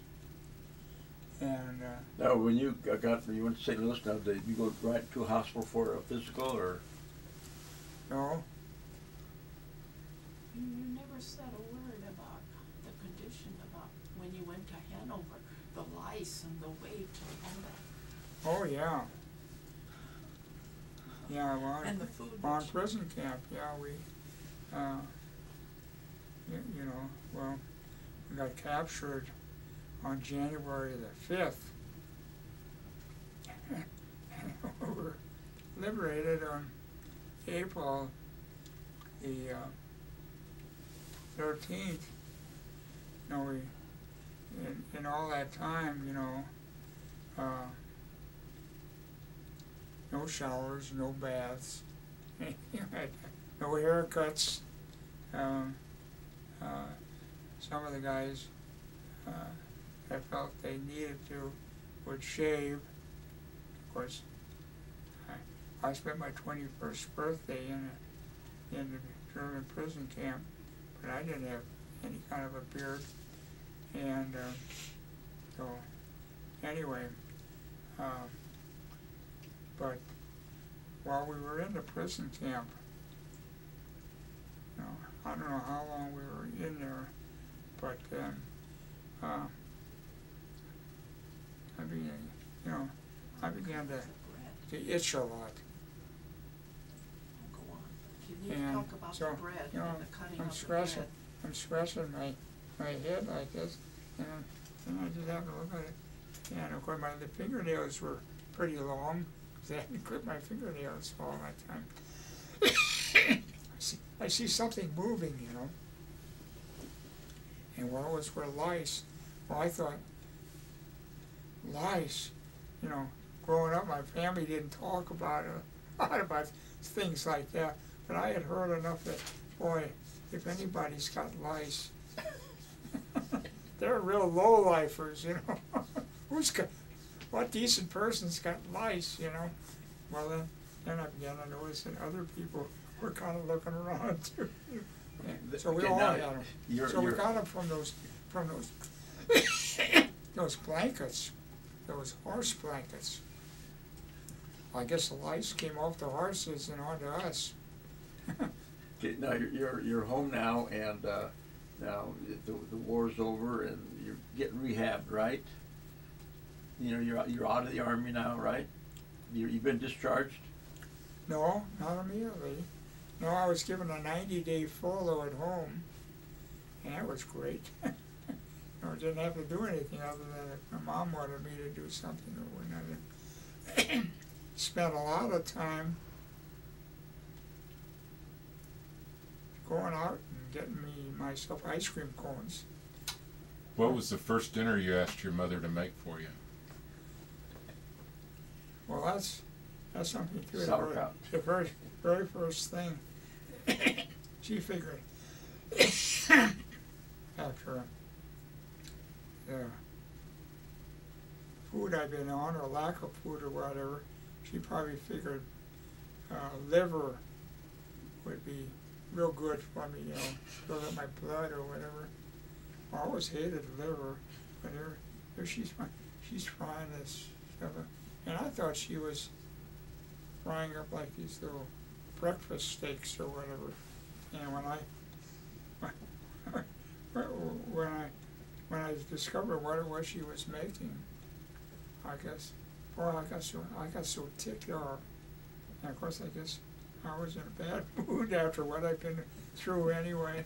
And poor old mom probably almost broke her heart trying to do something good. But anyway, I stormed out of the house and took a, took a walk in the neighborhood and got some ice cream and I came back up while. But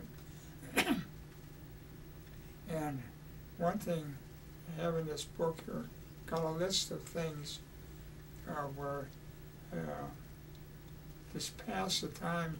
You could say it's almost a masochistic type of a function, but we had a lot of time to sit around and shoot the breeze, you know, and talk about this, that, and everything, and, and of course, talking about the food we liked, you know, different guys would try to think of, of what their mom made, or if they were married, and what their what their wives made, or some of their favorite foods or whatever, and I got some of those recipes.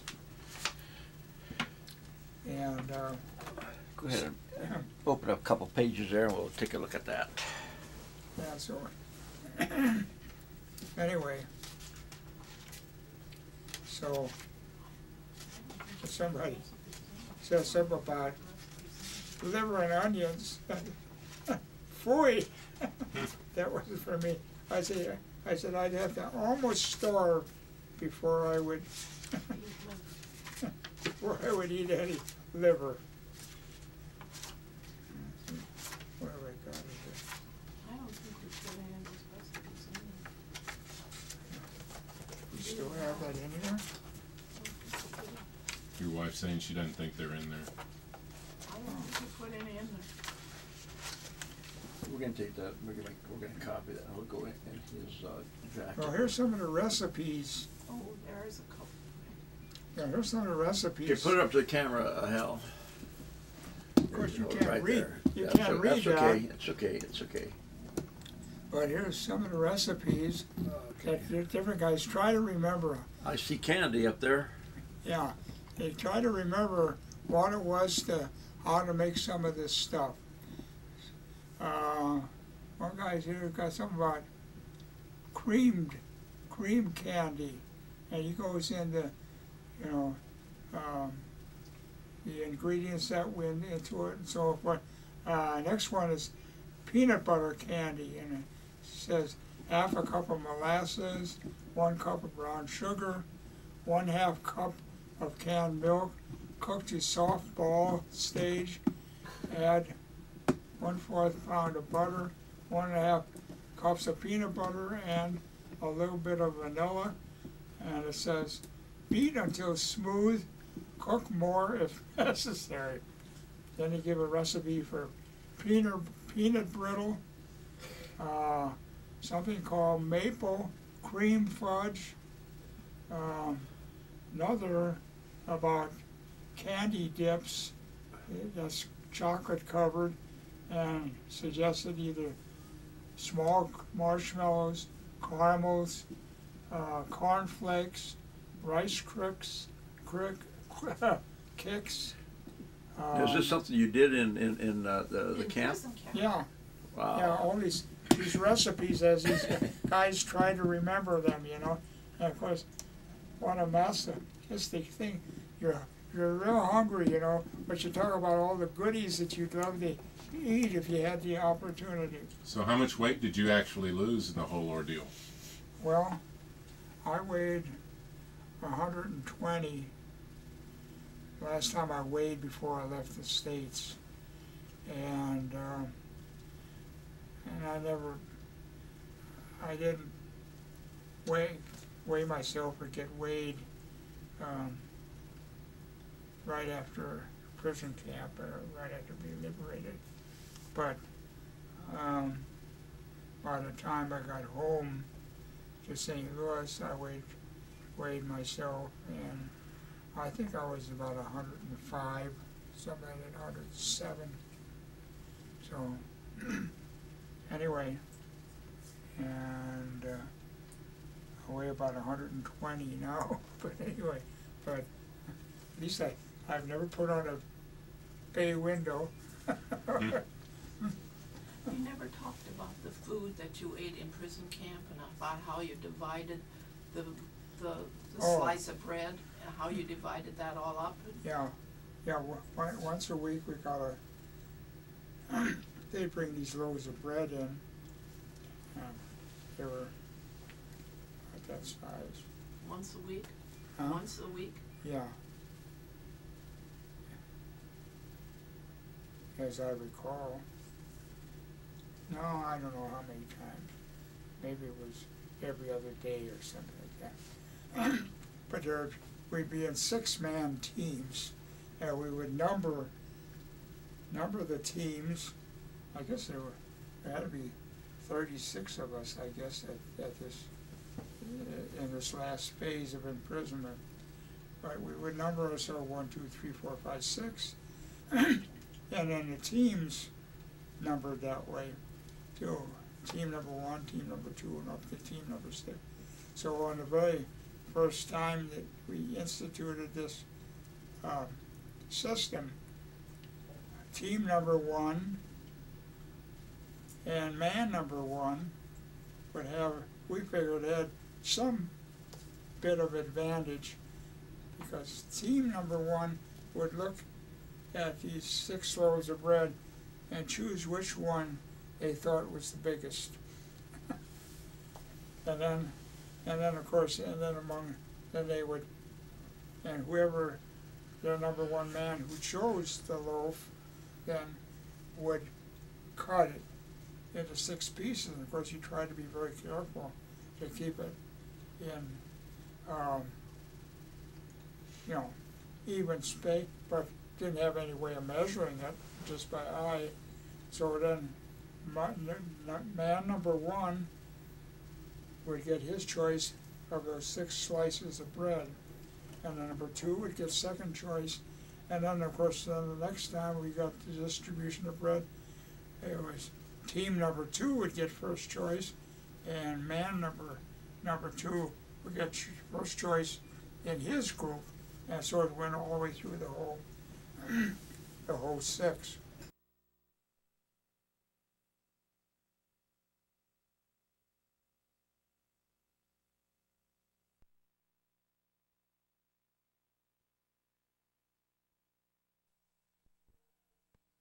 Okay, about this uh, sour bread uh, by the Germans, these loaves, um, to show you how long the Germans had been already planning their military excursions, shall we say, their attacks. This was this had to be long before they ever uh, first attacked like Czechoslovakia. Um, on the top of every loaf was three numbers.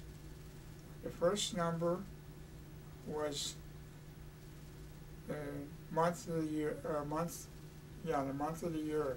The next number was the day, and the last number, or, or the month, and the last number was the day. And so, for instance, well, what's today? This is. This is The eighth. this is March, One, eight, oh, eight. so, so if I got my loaf of bread today, or we had a, loaf- get a distribution today, you know, on the top of that, well, not necessarily, that, that loaf that we would get might have been numbered July of last year, or even before then, and there were loaves that I saw that were five or six years old. But they, they, uh, that sour dough was what kept, kept them, shall we say, edible for that period of time. But they would, they would, they had certain barn-like buildings where they would stock up these loaves and they would pack them on, on, on, uh, some kind of wooden platforms or whatever, stack one on top of the other, and distribute in between um, fine ground, s- ground, uh, gro- ground sawdust. So there was any number of times we would get a loaf of bread that we'd have to brush off the sawdust. We didn't want to eat the sawdust.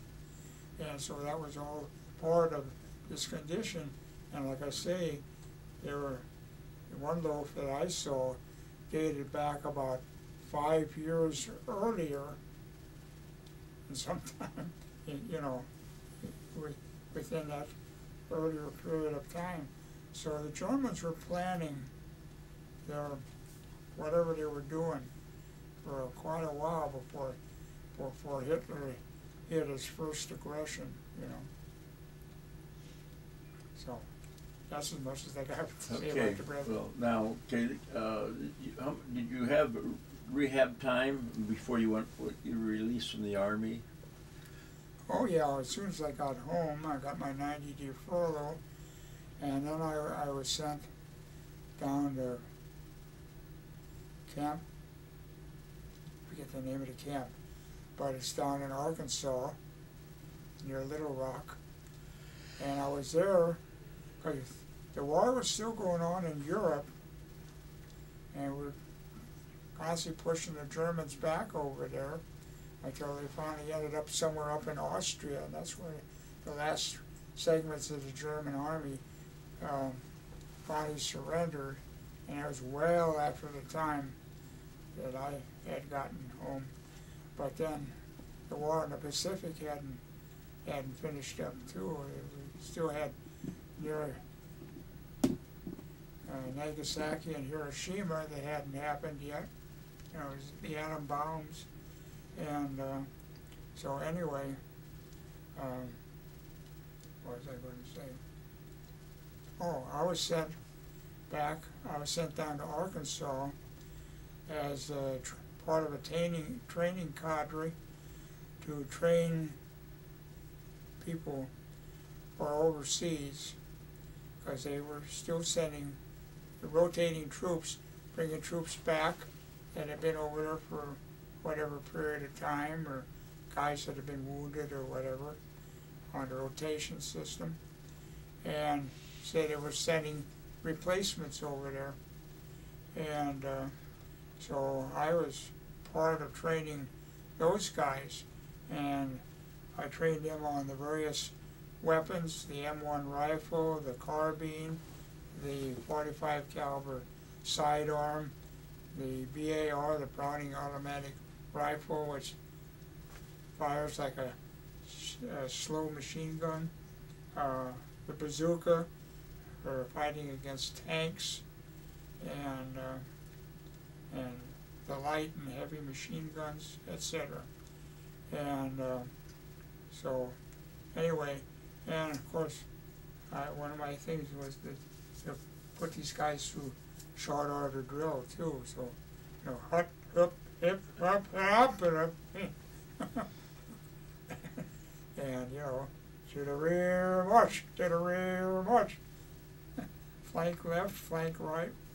But uh, anyway, was teaching these guys, and really the main thing, and I was told later, and I, I and I kind of had to figure it out myself too, that all this marching and training and the various things and and how how to how, what's the proper way to to throw a throw a hand grenade and all this kind of stuff um, is all to help the individual soldier or marine uh, anybody that's particularly on on on land, land warfare is how to be an efficient soldier, how to be able to kill the enemy or shoot him before he shoots you. And um, so this was all, and it was good discipline. And it was also a discipline to the point where when an officer said, do something, you never said, well, why? I mean, he said it, you did it. In other words, we used to have a little saying, my duty is not to ask my, why, my answer is to do or die. What was your rate at this time? Pardon? I was a PFC. It was after I was liberated and uh, when I was sent down there to Arkansas to train the troops for, that were going to be sent over as replacements. And then I was given my, my uh, corporal stripes. And so that's, that's, that's as high a rank as I went. Okay, where, where, where, when did you first hear about uh, Hiroshima? Where were you? Boy, I don't even remember that. Okay, then, okay, then the other bomb now. When did you first hear the the uh, VJ Day? You, you gotta know where you, you were there. Victory over Japan. Oh, I was already home by that time. You're out. Are you out now? Oh, yeah. Oh, yeah. Oh, Okay. Then then okay. You're home now, and did you did you go out and seek a job now? uh, yeah, well, I had a, I had a buddy who was in the, from, you know, from civilian life before the war. He and I had gone to art school together. and, uh, he was, he was in the Navy Air Force.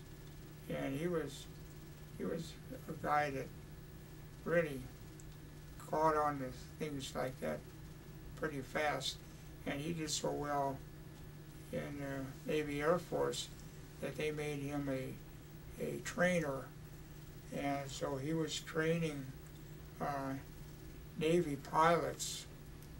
and on a, on a training, uh, mission when he had a, uh trainee up, they were in a, a two-seater, instructor was sitting in the back, and a trainee up in front, and a trainee was at, at the controls, and so, anyway, the guy came in for a landing and misjudged his distances or whatever, and crash landed the, the plane, and the trainee was killed, and Wally, my buddy, got his, got his one leg, I think, one leg got all banged up, broken, multiple broken bones.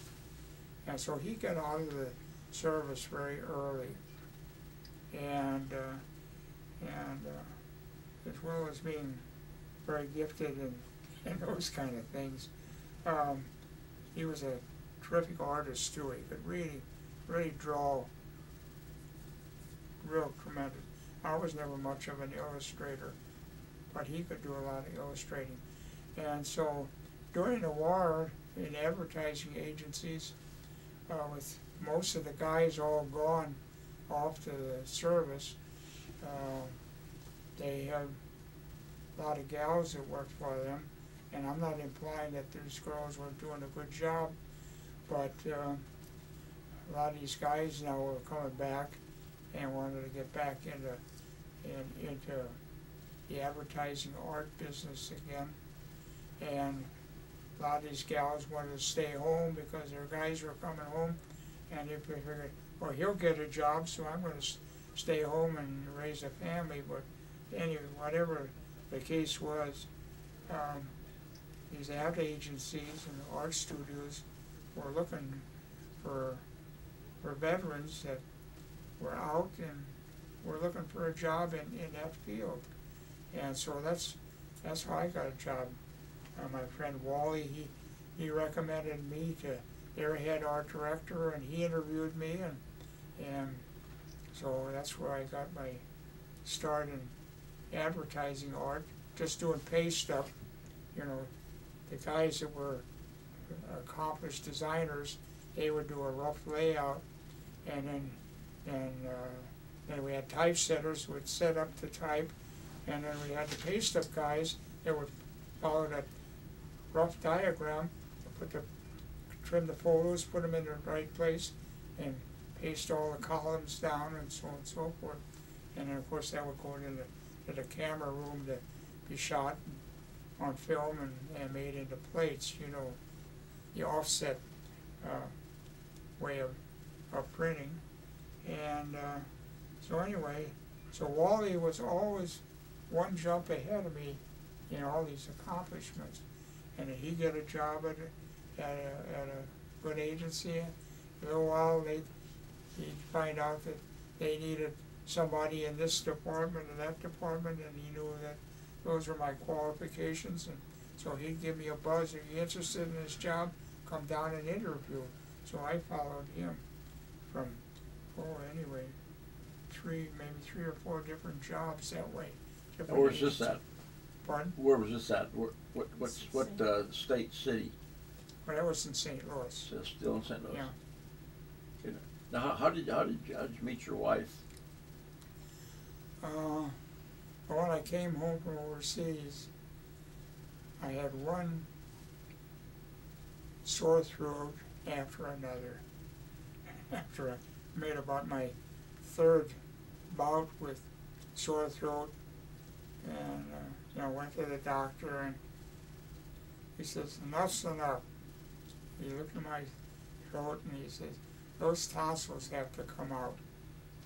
So they put me in the in the hospital and went in there in one day and uh, supposed to have surgery the next morning and uh, cute student nurse came in and I tried to make a date with her.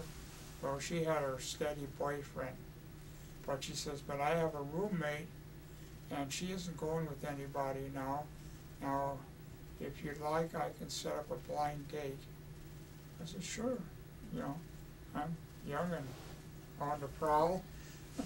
So, you know, so we're gonna go on this blind date uh, on, on Sunday afternoon. We're gonna go take in a movie. And, uh, so I went over, over at this hospital, a Lutheran hospital in St. Louis, which was in about six blocks from my house. And, uh, we were gonna go take in a movie. And so they had a, it was a big enough hospital, they had a lot of these nurses in training, so they had a special home adjacent to the hospital for these gals.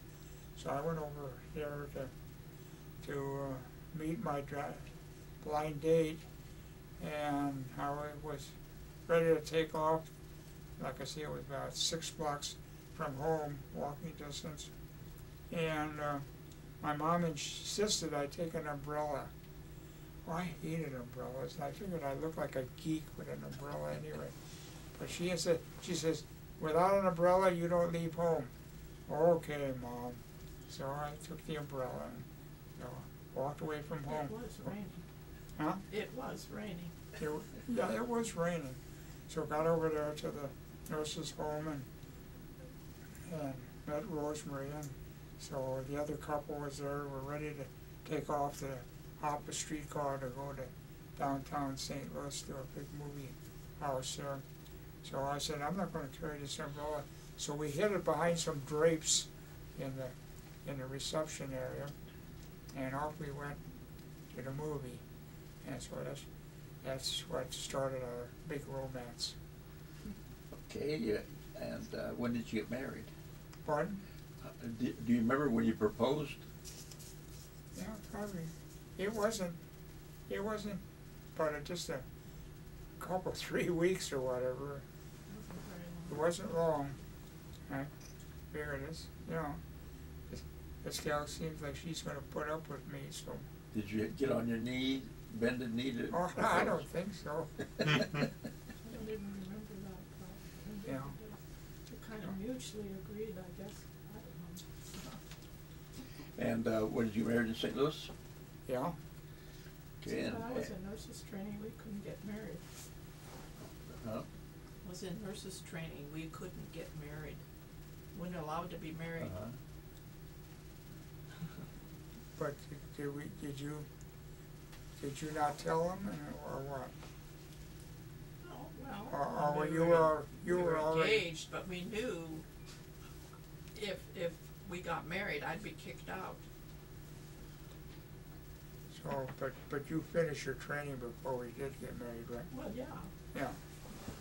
But she had a, Had she that had, much but she had a roommate, that gal that I first tried to, that tried to, uh, date, but she and her boyfriend, they did go ahead and get married, and they had to keep it quiet.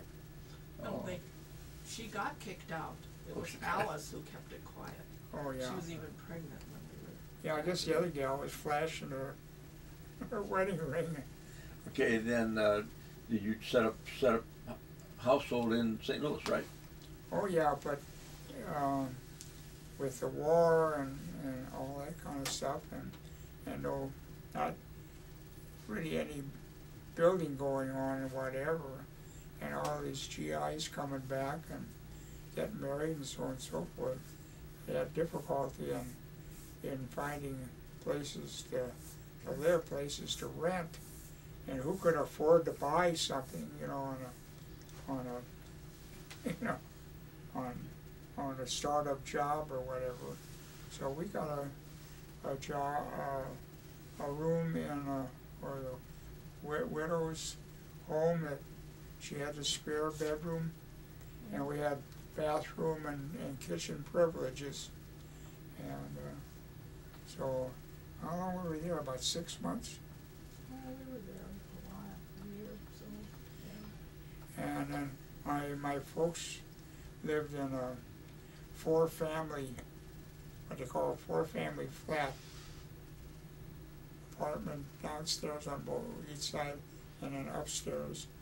And, uh, had been in the family, been owned in our family uh, from my mother's side for, oh, at least a hundred years or something like that. in South St. Louis. And so, uh, my mother and father uh, occupied the flat on the one side, and upstairs from them was vacant. So we were able to move up there, and oh, I don't know how long we were. I guess we lived there till we moved to California, right? Now, how many uh, children did you have? Well, when we moved to California, we had two. E- Eric, the oldest son, was what? Was he four? No, well, no, three, I think three and two, What? three and two. Yeah, Yeah, David was one year and two weeks younger than his older brother. Oh, We moved with two. Er- Eric's a a manufacturer, manufactures custom furniture, and David is a commercial artist. And we have three girls. How old are they? Cindy just had her fiftieth birthday, didn't she? Yeah, And yeah, yeah. Debbie is what, 47, 48? Mhm. And Heidi is forty-four, huh? It's hard. And you know Heidi. It's hard to believe. Okay, Yeah, well- then. Well, you remember Dale, Da- Dale, I think Dale uh, James. James? Yes, yes, yes. Yeah, well, he and Heidi were married. Oh, yeah. But they They're not married anymore, but that, that wedding broke up, but anyway. He was in here one time, I think, Dale James. Oh, Um, did you ever meet or know uh, Milton Caniff? Oh, yeah, Milton Caniff? Yeah, yeah, he was a cartoonist. Right, he, uh, yes, right, he, uh, he's the one that inspired, uh, Greg, because he's left-handed. Really? So he, we were real good friends and, Yeah. uh, Greg, uh, worked for him before he died. This was Mm. something. Okay, well, listen, what I'd like you to do is to just say something to your family.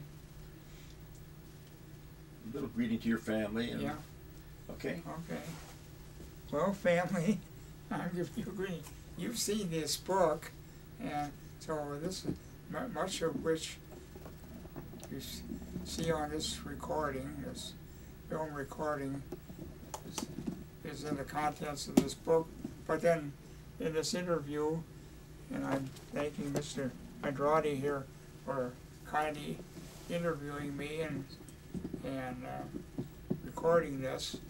It has much of what we have discussed in this book that you guys have read, but expanded on it and, and of course in voice uh, uh, recording and so on and so forth, and photo recording um, gives more life and understanding and etc. Uh, than the cold type in the book. So I think uh, Bob Andrade I'd here, like it to come up here now. I want you to And- stand beside him. Oh dear.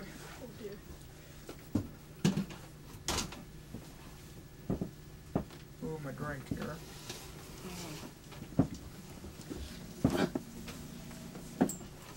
Okay, would you introduce your wife for us, please? Oh, dear me. Yeah, this is my wife Rosemary. Uh, Still a beautiful woman. yes, I think so. and, we'll uh, be married six days. and, How long have you been married? Yeah, we'll, well, we'll be celebrating our 60th anniversary in June, and so she's put up with me for a long time. And uh, we enjoy a lot of things, and uh, um, nothing real flamboyant or or too ex- expensive. We've made what now, two or three trips over to Germany. Four. You know, that's, Four- that's. four. Okay, now that you can tell us together, what was it like to go back after all those years and and and uh, having your your has Rosemary with you? Well, what happened, what uh, made it pleasant, well, I, I think there's very few Germans that can't speak English and understand it. Maybe in some small uh, remote village, there might be some elderly people that have difficulty with it, but I, I rather, rather doubt it. But, but there were certain situations and, and things where she could speak to these people in German, because she speaks excellent German. All I, all I know is the bad words, and that don't count, or shouldn't. so anyway, so on these trips over there to, to Germany, and, and we've been to Latvia, because there was a missionary friend of ours that was serving as a missionary in Latvia, and we visited him and his wife, and it was a great experience. And uh, so we've been able to travel, and uh, we love to travel. And so, anyway, God is good. Okay, would, would, would- would you say something, Rosemary, please? Well, um, uh, our first, oh, no, it would be our second trip. We went to Germany and then, uh, we, uh, by that time, the, the wall had come down, the Berlin Wall had come down, so then we could go past that barrier and we were able to find, the prison camp where he had been. Um, and that was quite an undertaking because we had to take a cab and, and try to figure it all out. But How but- did you know you found it? You- well, because when we when we uh, arrived at that place, it you know some things had changed, um, uh, and the owner had moved. Although the people living there knew who he was talking about, the woman that had helped him. They they knew that family, but they had moved away, and so uh, that was a connection. And then also uh, when we were in the cab. Again, it was raining. It was a dreary day, and then he he, he says, "Oh, there is there is the road. There is the road where the the uh, trucks came around that You corner." recognize that, The huh? recognize that's that that's road along the forest, that curve, and where the recognize the the truck that had come And with did the you ones find a quarry? Oh, Yeah. yeah. Yes, we did. We did find it.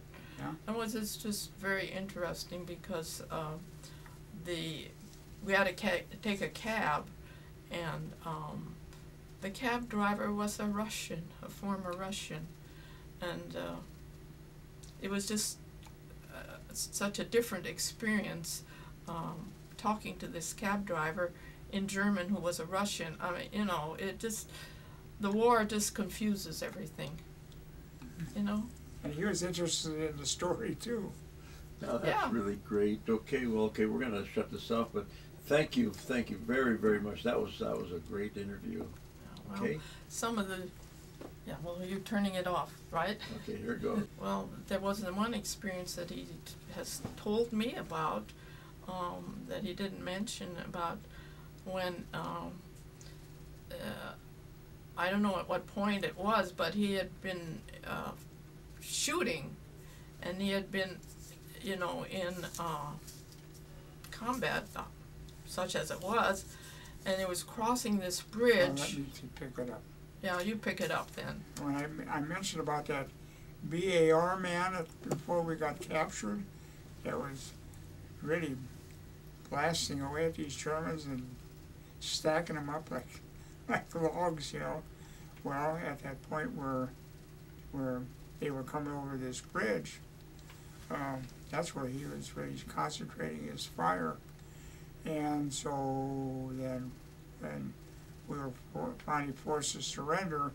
We were marched back over that bridge, and all his bodies stacked up, and then the way this bridge was built, it was like a low stone wall on each side of the, of the uh, of the of the bridge, and we had to walk to the to our left of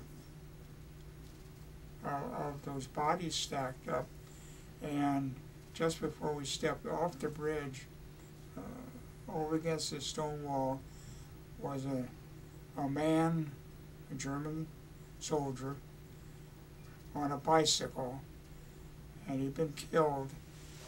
But when he when he fell over and he was tilted over, that that wall held up the bicycle, and the and the and the man he was still on the bicycle, and his his glasses were kind of hanging like this, and they were dark black horn rimmed glasses that remind me of the glasses that my grandfather wore. And so that really grabbed me. I figured, well, that could be my grandpa hanging there. Oh, be something, huh? Yeah. Okay, thank you again very much.